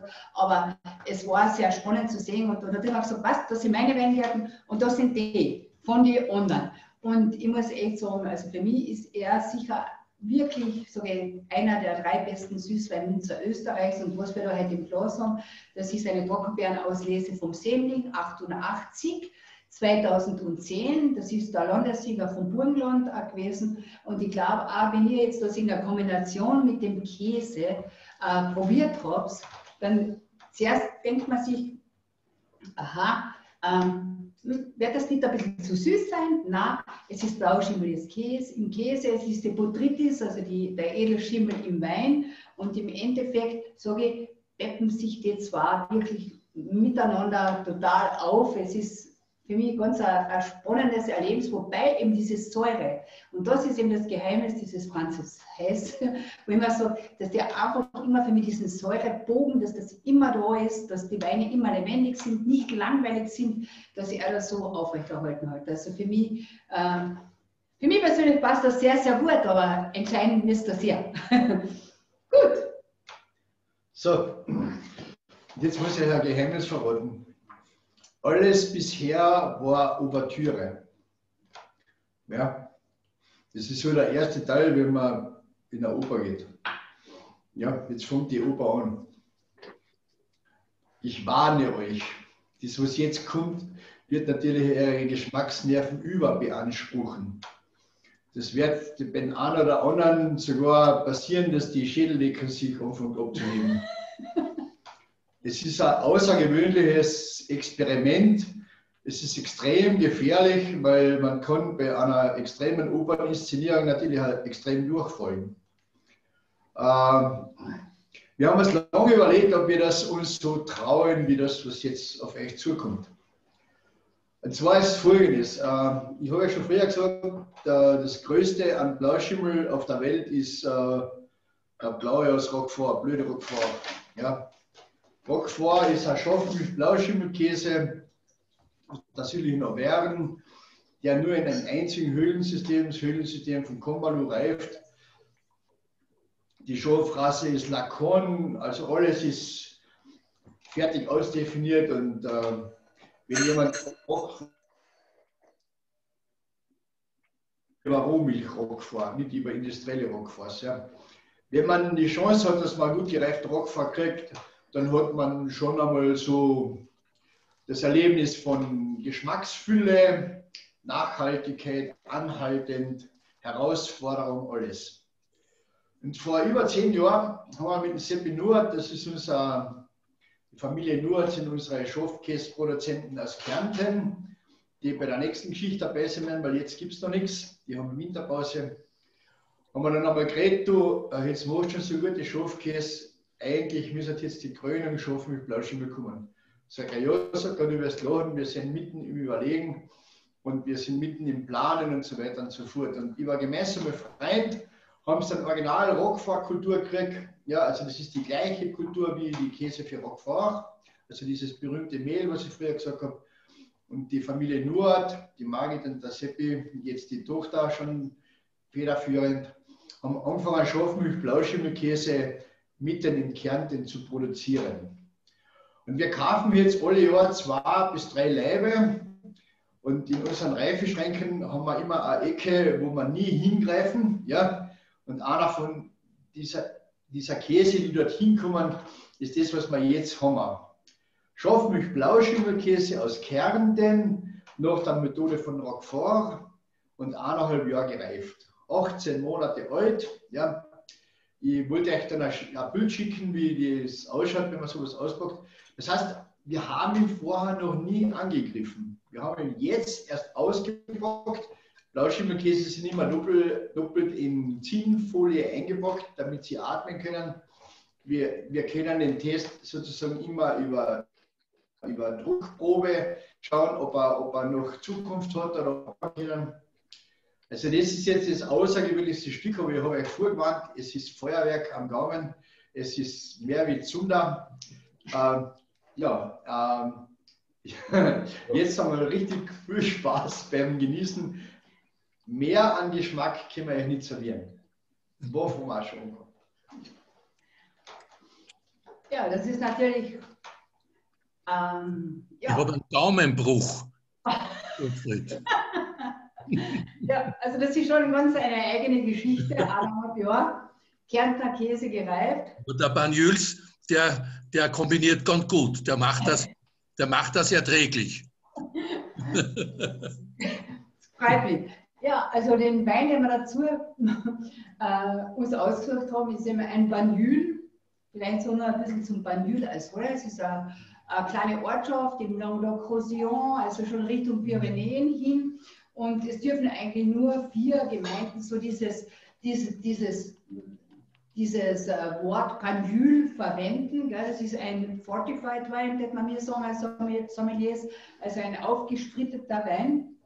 Und dieser Gérard Bertrand, von dem dieser Wein stammt, also da war eigentlich vom Beruf her Rugby-Spieler und wollte eigentlich das Weingut daheim schon gar nicht übernehmen, bis er draufgekommen ist, was er da eigentlich Wertvolles hat und was er versandt, wenn er das nicht tun würde.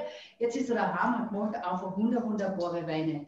Äh, wir haben da die Rebsorten Grenache, also 80% Grenache Nord, 20% Grenache Blanc und das Ganze wird äh, im Holzfass, aber auch ein kleiner Anteil eben im Stahltank ausgebaut. Das Besondere ist eben, dass während der Maische, also während der Wein auf der Maische liegt, wird praktisch mit Alkohol aufgesprittet und damit die Süße so stehen bleibt. Was mir bei diesen Banyuls oder allgemein bei diesen süßen Weinen, so jetzt, die jetzt aus Südfrankreich kommen, diese Fortified, äh, persönlich besser gefällt als wie bei Boards und so weiter, ist, dass einfach die Säure lebendiger ist, dass sie leichter wirken, dass sie leichtfüßiger wirken. Also das transportiert der für mich echt sehr, sehr gut. Und äh, ja, von der, ich sagen, also man Geschmacksprofil her brauche ich so, es ist Kirsche, es ist dunkle Frucht.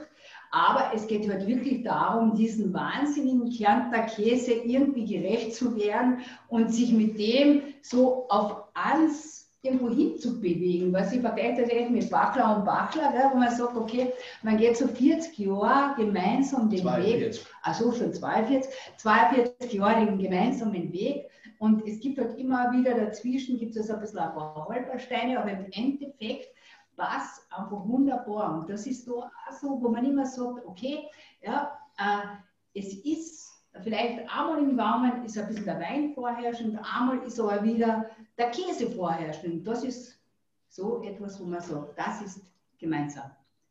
Ja. Gemeinsamkeit. In dem Sinn, Santé, Prost und danke, dass wir für euch diese Verkostung machen. Zwei Dinge, zwei gescheite Fragen. Die erste Geschichte, man sagt immer Blauschimmelkäse mit Süßwein. Wenn jemand noch von der DPA von Semri was hat, kann er das jetzt mit dem Käse probieren und draufkommen, wie schlecht das funktioniert ja, und wie gut der Banjul ausgesucht ist. Dann ist die Frage, woher die Schärfe vom Käse kommt. Das ist nur Ammoniak. Ja, das Endprodukt von Eiweiß ist Ammoniak. Der Käse nähert sich sozusagen seiner Wiedereinbringung in die Erde und wir haben ihn jetzt gerade noch erwischt. Ja. Aber ich sage euch gleich, solche Stücke gibt es, also von diesem Käse, von diesem Stück, gibt es nur ein Stück auf dieser Welt und das haben wir. Wir sind die Einzigen, die diesen Käse reifen können. Ja, danke schön einmal. Ja, in dem Sinn sind wir super in der Zeit. Gell? Also wir sind offen eigentlich, Klaus, für Fragen, für miteinander ein bisschen plaudern, diskutieren, was immer ihr vorhabt. Es war für uns die erste Zoom-Erfahrung Käse und Wein. Ähm, ja, großartig. Also selber auch so, so einfach so mitverkosten, ein eigenes Erlebnis, hat uns selber extrem viel Spaß gemacht und großartig, dass ihr alle mit dabei seid. Liebe Frau Präsidentin, willst du was sagen? Ich stehe, du. Ja, du, super großes Kompliment. Also jede einzelne Kombination hat mich begeistert, hat mir, hat mir super gefallen und es war wirklich so, wie man quer verkostet hat. Ihr habt sie super auf den Punkt gebracht und es ist ja mit Käse zu arbeiten, ist eine Tagesverfassung, je nachdem wie der Käse ist, entwickelt sich ja immer weiter, aber ich habe es da sehr vorausschauend gearbeitet die und die Weine auch. Sehr, sehr spannend. Viele Käse habe ich gar nicht kennt, weil ich nicht so tief drin bin in der Käsegeschichte. Also alles ein super schöner Genuss und toll, toll gemacht und war, hat mir, richtig, hat mir richtig taugt, dass ich dabei war. Und wie gesagt, ähm, mir hat alles, mir hat alles begeistert und natürlich jetzt zum Schluss das blaue Schaf. Und natürlich soll, weil ich es weil ungewöhnlich finde von der Textur her, dieses bröselig kristalline, das man ja bei einem Blauschimmel eher weniger findet, weil das ist ja sonst immer cremiger und Dings, aber ich finde das ganz passend, ganz super. Großes, großes Kompliment und nebenbei auch herzliche Gratulation zu 30 jungen Jahren. Dankeschön. Ja, ja, den Ball nehme ich gerne auf, liebe Annemarie. Äh, schön, dass wir es gesehen haben. Äh, momentan geht es ja wirklich nur online. Äh, liebe Ingrid, lieber Gottfried, es war wie immer ein Hochgenuss.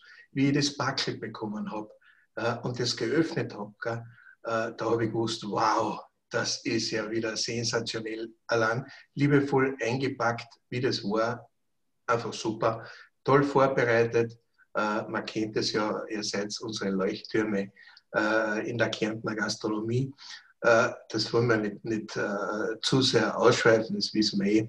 Äh, ich möchte die Teilnehmer bitten, Sie können jetzt alle Ihre Mikrofone in, auf dem Button stumm schalten. Also Sie haben das links unten, diese Stummschaltung ja. aufheben und wir freuen uns, wenn Sie mit uns ein bisschen mitdiskutieren.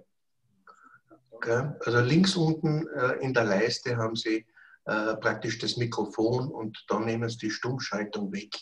Okay? Das müssen alle können.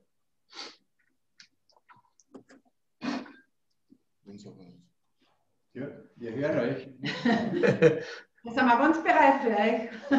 Wenn ich, wenn ich noch was sagen darf, ich habe es eh schon angesprochen. Also ich finde das gerade in der Gastronomie, es ist gerade so ein Punkt, gerade mit den Jahrgängen und wir haben da die, die tolle Reife gesehen und wir wünschen uns, dass wir nach der Corona-Krise nach wie vor in der Gastronomie in der Lage sein werden, Weine zu reifen, dass wir es wirklich so am Punkt präsentieren können.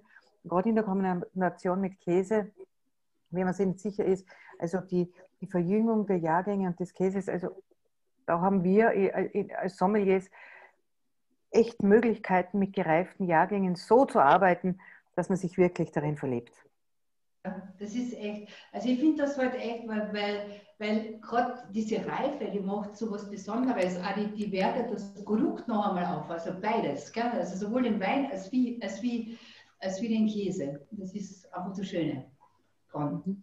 Mhm. Ingrid, wann habt ihr eure nächste Verkostung? Wisst ihr schon? Wir sagen es dir. Okay, wunderbar. Machen wir wieder äh, im Team. Äh, und äh, unsere nächste Verkostung des Kärntner Sommelvereins äh, wird am 30.03. sein. wir haben die steirische Roas, Volume 1. Roas ist steirisch und heißt nichts anderes wie Reise. Da geht es ins Vulkanland, ja, Südoststeiermark. Wir haben äh, vier äh, grandiose Weine mit Alleinstellungsmerkmal äh, für euch ausgesucht. Äh, ihr könnt euch da gerne informieren äh, in unserem Internet unter www.ksov.at Events oder Event oder wie immer. Äh, schaut es euch an. Super cool. Wir haben auch also nicht nur einen Traminer, wir haben nicht nur einen Riesling, einen Riesling bitte, ja, einen richtig guten, sondern auch eine rote Eruption im Angebot. Schaut es euch an. Äh, zu, zu, bestellen ist es äh, äh, direkt äh, bei der Gesamtsteirischen Winothek, aber das wird euch alles erklärt. Äh, das seht ihr im Web. Ich würde mich freuen, wenn wir uns am 30. sehen. 14.04. haben wir die Pia, nein, da haben wir die Birgit Braunstein mit Blaufränkisch Leben. Und ja, Ende April machen wir eine Rosé-Geschichte mit der Pia Strehn äh, wieder ein bisschen was Cooles äh, und der Rosé ist oder so äh, im Trend seit mm, zwei Jahren äh, und äh, die war auch heute schon da. Jetzt muss man schauen, ob sie denn noch da ist. Ansonsten, Winke, Winke, liebe Pia, die war heute auch Teilnehmerin, aber ich sehe sie jetzt nicht am Bildschirm.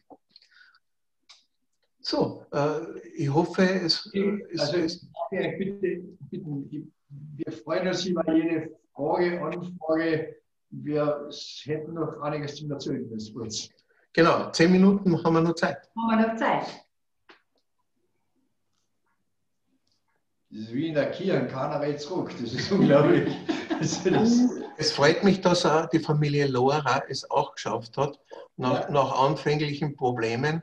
Äh, liebe Grüße, Familie Lora war schwierig, aber hat auch doch geklappt. Aber ja. es ist nicht schlimm. Äh, wir werden das Ganze auf YouTube stellen. Da können Sie das äh, jederzeit das gesamte Paket nochmal anschauen. Ja, Manfred. Manfred Thement. Hallo, grüß Vielleicht, vielleicht abschließend von unserer Seite. Wir, waren, wir, waren, wir sind sehr glücklich, dass wir da heute dabei sein haben dürfen. Natürlich auch ganz toll, dass ihr so einen reifen Wein von uns äh, zum Käse gebracht habt. Es ist ja nicht selbstverständlich, dass die Gastronomie so reife Weine im Keller hat. Aber ich kann euch versprechen, wir, wir wollen das in Zukunft vermehrt machen. Also wir haben, wir haben es uns zur Aufgabe gemacht, dass unsere Weine wesentlich später, also vor allem die Lagenweine später in Verkauf kommen werden. Wir sind gerade dabei, ein Lager zu bauen, also zumindest in Planung. Und also wir sind uns einig, dass unsere Weine Zeit brauchen, brauchen und dass die viel, viel, also unsere Weine können das, also nicht nur die steirischen, also viele österreichischen Weine, glaube ich, kennen das und, und die sollen einfach im, im reiferen Zustand äh, getrunken werden und, und vor allem zum Essen gereicht werden. Jedenfalls, wir, wir bedanken uns, dass wir heute dabei sein haben dürfen und wir haben wirklich sehr viel gelernt und bin, bin, wir sind ganz erstaunt, was ihr alles wisst über den Käse und die Ingrid natürlich über den Wein, ganz klar. Vielen Dank. Danke vielmals. Die Nicole hat angefangen. Ja, ich wollte da, ich wollte ganz kurz nur sagen, ja, genau. wir haben ja das Glück, dass wir unweit von der Familie Bachler entfernt wohnen. Das heißt, wir freuen uns wieder, wenn die Gastronomie sowieso auch endlich aussperrt wieder. Und wenn wir dort auch andere Sachen, nicht nur Käse, sondern Wein und äh, die andere Kulinarik, die ihr anbietet, auch dort verkosten können. Aber äh, so, so schlecht wie Corona im Grunde genommen ist, der Vorteil heute, muss man ganz ehrlich sagen, das ist ganz, eine, ganz eine tolle Idee, ganz eine tolle Sache, dass wir das so erleben dürfen und können diesmal, weil ganz, ganz toll, dass man sogar viele, viele Winzer aus Österreich, tolle Winzer von Familie Dement, wie gesagt, da wirklich einmal persönlich kennenlernt oder einmal hört. Ganz eine tolle Sache. Muss auch sagen, ich da wirklich, äh, wir beide einmal rausfahren, sogar in die Chalets, wäre definitiv ein Riesenthema auch für uns. Aber ganz, eine, ganz eine Spitzensache und wie gesagt, Klaus, die, die Heidi Schröcker, dass man eben am Formint einmal, einmal so verkostet, wo man so selber privat vielleicht gar nicht auf die Idee kommen würde, einen österreichischen Formint dort zu trinken ganz, ganz eine tolle Sache und eine super Idee. Aufbereitung war mega, muss ich sagen, wirklich mega. Und die Käse natürlich, Gottfried kennt sich natürlich super Weltklasse bei, bei den Sachen aus. Ganz eine tolle Sache, super Idee, muss ich ganz ehrlich sagen. Spitze, Spitze und kann auch noch sagen, danke. Und ich hoffe, dass bald wieder so was Ähnliches so in diese Richtung stattfindet. Oh ja, ja. Gibt es sicher. Sicher, danke.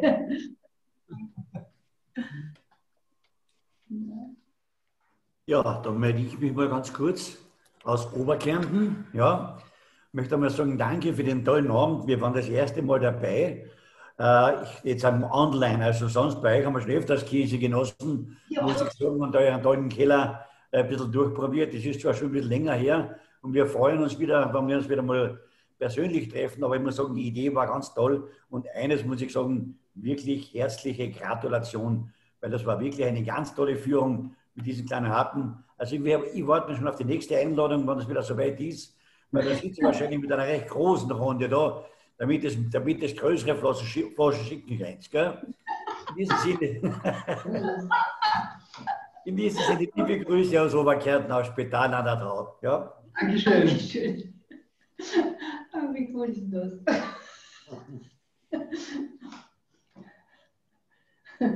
Ja, wenn keiner Frage hat, also wir verschicken auch Käsepakete, gell, falls jemand äh, so das Gefühl hat, er hätte jetzt Lust. Äh, ihr kriegt dann auch immer eine schöne Erklärung dazu. Die Käse sind durchnummeriert, so wie jetzt. Und es gibt dann auch immer eine Kurzerklärung dazu, dass man das sozusagen gefahrlos genießen kann und dass man sich hängen lassen kann. Und bei den Weinen haben wir dann auch richtig große Flaschen, gell? also nicht nur die kleinen, da gibt es dann auch hin richtigen Größen. Christian habe ich gesehen. Ja, äh, du bist mir jetzt zuvorkommen gleich mit der Erklärung, das war meine Frage gewesen. Wir würden gerne großen Flaschen und größeren Käsestücken bestellen. Ja. Selbstverständlich gerne, Christian. Du brauchst dich nur melden, alles funktioniert. Das machen wir. Markus, Markus Bongatz. Achso, ja, gerne, gerne. Ich sage auch einmal vielen, vielen Dank für diese herrliche Einladung. Es war ein Genuss. Es war sehr fein. Äh, meine Frau wäre gerne dabei gewesen, aber wir haben uns unsere Kinder leider schon müssen ins Bett geben. Morgen ist ja wieder Schule. Ja, Pech, du hast, du hast die ganze Flasche allein trinken dürfen. Ja, ich, ich habe das Vergnügen gehabt, dass ich das allein trinken habe dürfen. Aber es, es war total okay, ja. Also die Frau wird mit mir auch Freude haben. Aber die, die Käsesorten waren sensationell, muss ich ehrlich sagen. Also ich bin ja so und so ohnehin ein Käseliebhaber. Und deine Erklärungen dazu, das hat es wirklich das Ganze noch abgerundet und es war sehr fein. Absolut genial. Und von Gamlitz, schöne Grüße noch, sagt noch äh, Althofen. Danke. Ich möchte auch noch kurz was sagen. Also für mich war das auch ganz eine tolle neue Erfahrung, muss ich sagen. Also ich komme eigentlich aus einer ganz anderen Ecke, aus einer eher hochständigen. Und ähm, ja, es waren die Käse, auch die Käse waren eine, eine großteils eine neue Erfahrung, also Ziegenkäse, also Celle sur zum Beispiel, das war ganz, ganz toll und auch Furmint zum Beispiel war mir völlig unbekannt bis jetzt, wirklich ganz, ganz toll, beide. Äh, und auch die Erklärung von der Heidi Schröck, ganz, ganz toll. Und äh, zu den Blauschimmelkäsesorten muss ich sagen, also das war von der Kombination her für mich absolut ähm, sensationell, weil sich das so, so aufhebt irgendwie und, und ja, das harmonisch wird dann. Und äh, mein Käse-Highlight, muss ich sagen, war der Comté. Also okay. sehr, sehr gut. Okay. Und her, also wirklich alle, alle sehr, sehr gut. Äh, bei den Käsen zum Beispiel Reblochon, das war ja okay. Mit dem haben wir ein bisschen bisschen mich beschäftigen müssen, aber sehr, sehr interessant und ich möchte mich ganz herzlich bedanken, dass wir teilnehmen haben dürfen. Sehr gerne. Gerne, liebe da. Cool. Ingrid, eins muss ich noch sagen und Gottfried, äh, also ich kenne ja vom Nord einige seiner Ziegenkäse, gell? Aber, aber den kannte ich nicht. Gell? Der ist sensationell, ich schmecke ihn immer noch. Ja? Ja, zu dem, zu dem Käse und zum Nord muss ich dazu sagen, der, der Nord verkauft den Käse relativ frisch. Und wenn genau. er den Käse von sich kosten will, dann kauft er bei mir einen zurück. das Stück gibt es nur bei uns. So. Das ist eine eigene Geschichte, ja. Ich kenne den nur, äh, ich habe ihn im Sandwirt da gehabt, gell? Äh, der Gregor hat da immer frisch eingekauft, aber natürlich die frischen äh, Ziegenkäse und so weiter. Gell? Aber sensationell, sensationell. Danke vielmals. Äh, zwei Minuten haben wir noch. Ich weiß nicht, ob es von allein abgeschalten wird, aber bis dahin könnte man einfach noch weitermachen. Darf ich mich noch einmal melden und möchte einfach sagen, dass die, dass die gerade die österreichischen Weine nochmal betonen, dass das wirklich so grandios ist, wie die reifen, wie frisch die sind spricht für die Winzer, spricht für den Weinkeller, wo es gelagert ist. Also, liebe Leute, habt keine Angst vor gereiften Jahrgängen. Im Gegenteil, die performen so super und doch haben viele andere Nationen wirklich Mühe mitzukommen, dass in der Reife die Weine so schön sind. Danke, liebe Winzer. Also super gemacht, super ausgesucht und mit jeder Schluck eine große Freude. Was die Annemarie meint, ist speziell auch Weißweine äh, sind wunderbar äh, gereift zu trinken, wie man das beim sieht 2001. Ja? Äh, wir haben ja einige Weingüter, äh, die sich darauf spezialisiert haben, äh, reife Weißweine eben anzubieten auch. Ja? Da haben wir in Österreich grandiose Sachen. Probieren Sie das. Ja? Lassen Sie sich beraten, dafür gibt es Sommeliers. Ich denke sowieso, dass Fulmin überhaupt eine große Zukunft hat. Also ich glaube, das ist schon eine Rebsorte der Zukunft wie die Heidi sagt, dass das. Habe ich da jetzt ein Hirterbier gesehen? Bitte? Irgendwo haben wir jetzt, glaube ich, ein Hirterbier gesehen. Bei mir? Bei wem? Ja, bei dir nicht, aber irgendwo auf den Bildschirmkreuz.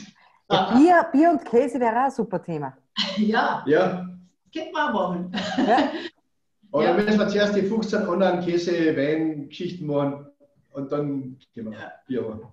Na, aber ich glaube schon, dass dieses Thema gereifte Weine und, und Kombination Essen und so weiter ist ein großes Thema. Und da, da ist es große Aufgabe der Gastronomie und der Sommelerie oder zuerst einmal die Gastronomie zu bekehren und zu sagen, hey, es schmeckt so eigentlich alles viel besser, wenn der Wein bisschen Reife hat. Gell? Also das ist, das ist unsere, also bei mir, ich sage immer, ähm, ich bin halt ein Reifefreak, weil einfach Badaston lebt, das Essen, der Wein.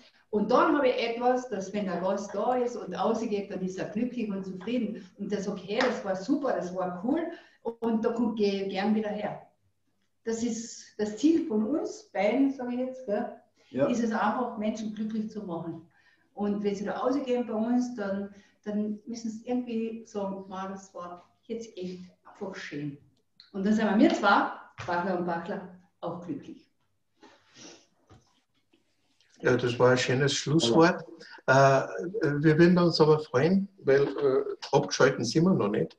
Gibt es denn noch Meldungen? Bitte dann jetzt. Schalten Sie ein Mikrofon an und auf geht's.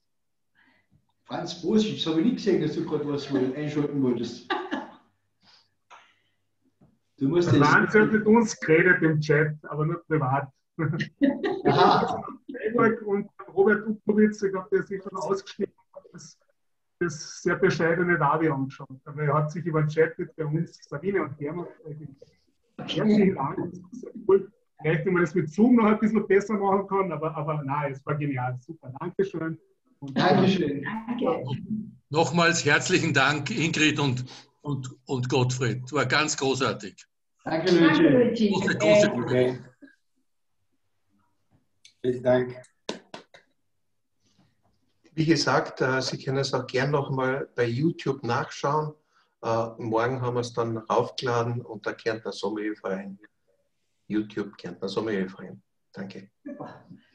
Michi, danke fürs Herz. Michi, danke fürs Herz. Dankeschön. äh, lieber Klaus, bevor Sie uns ausschalten, ich möchte mich einfach recht, recht herzlich bei dir bedanken für diese große Aufgabe, die du da heute übernommen hast, weil wir kennen uns da echt nicht aus und du hast das ganz bravourös gemeistert. Danke vielmals. Es gibt in Kärnten wirklich einen Präsidenten des, des Sommeliervereins, der ist so umtriebig und rührig und ich wünsche mir die die nächsten 20 Jahre, weil dann geht echt was weiter. Danke dir vielmals, Klaus. 20 Jahre war ein bisschen problematisch. ja. Ja, gut. Also. Äh, wenn wenn, wenn gerade noch Zeit ist, darf ich gerade noch ganz kurz was Österreichweites ansagen. Und zwar diejenigen unter euch, die sich für Wettbewerbe interessieren. Wir haben am 10. und am 11. Mai haben wir, am 10. haben wir bester Nachwuchsfamilie Österreichs. Wer da mitmachen möchte, bitte. Das, das betrifft alle, die noch nicht Diplom sind die sich da matchen wollen, sind herzlich eingeladen, in Wien im, im Blue teilzunehmen oder am 11. Bester Sommelier Österreichs, der uns dann bei der nächsten Weltmeisterschaft vertreten wird. Also, liebe Leute, wer Lust hat, sich hier wettbewerbsmäßig zu engagieren, ist herzlich willkommen bei uns. Ja, herzlichen Dank, Annemarie. Die Ingrid, äh, ich und ja, der, der Gerald Klinik, der wird sicher auch noch mit dabei sein. Werden wir schon zu dritt antanzen in, in Wien beim Best Sommelier.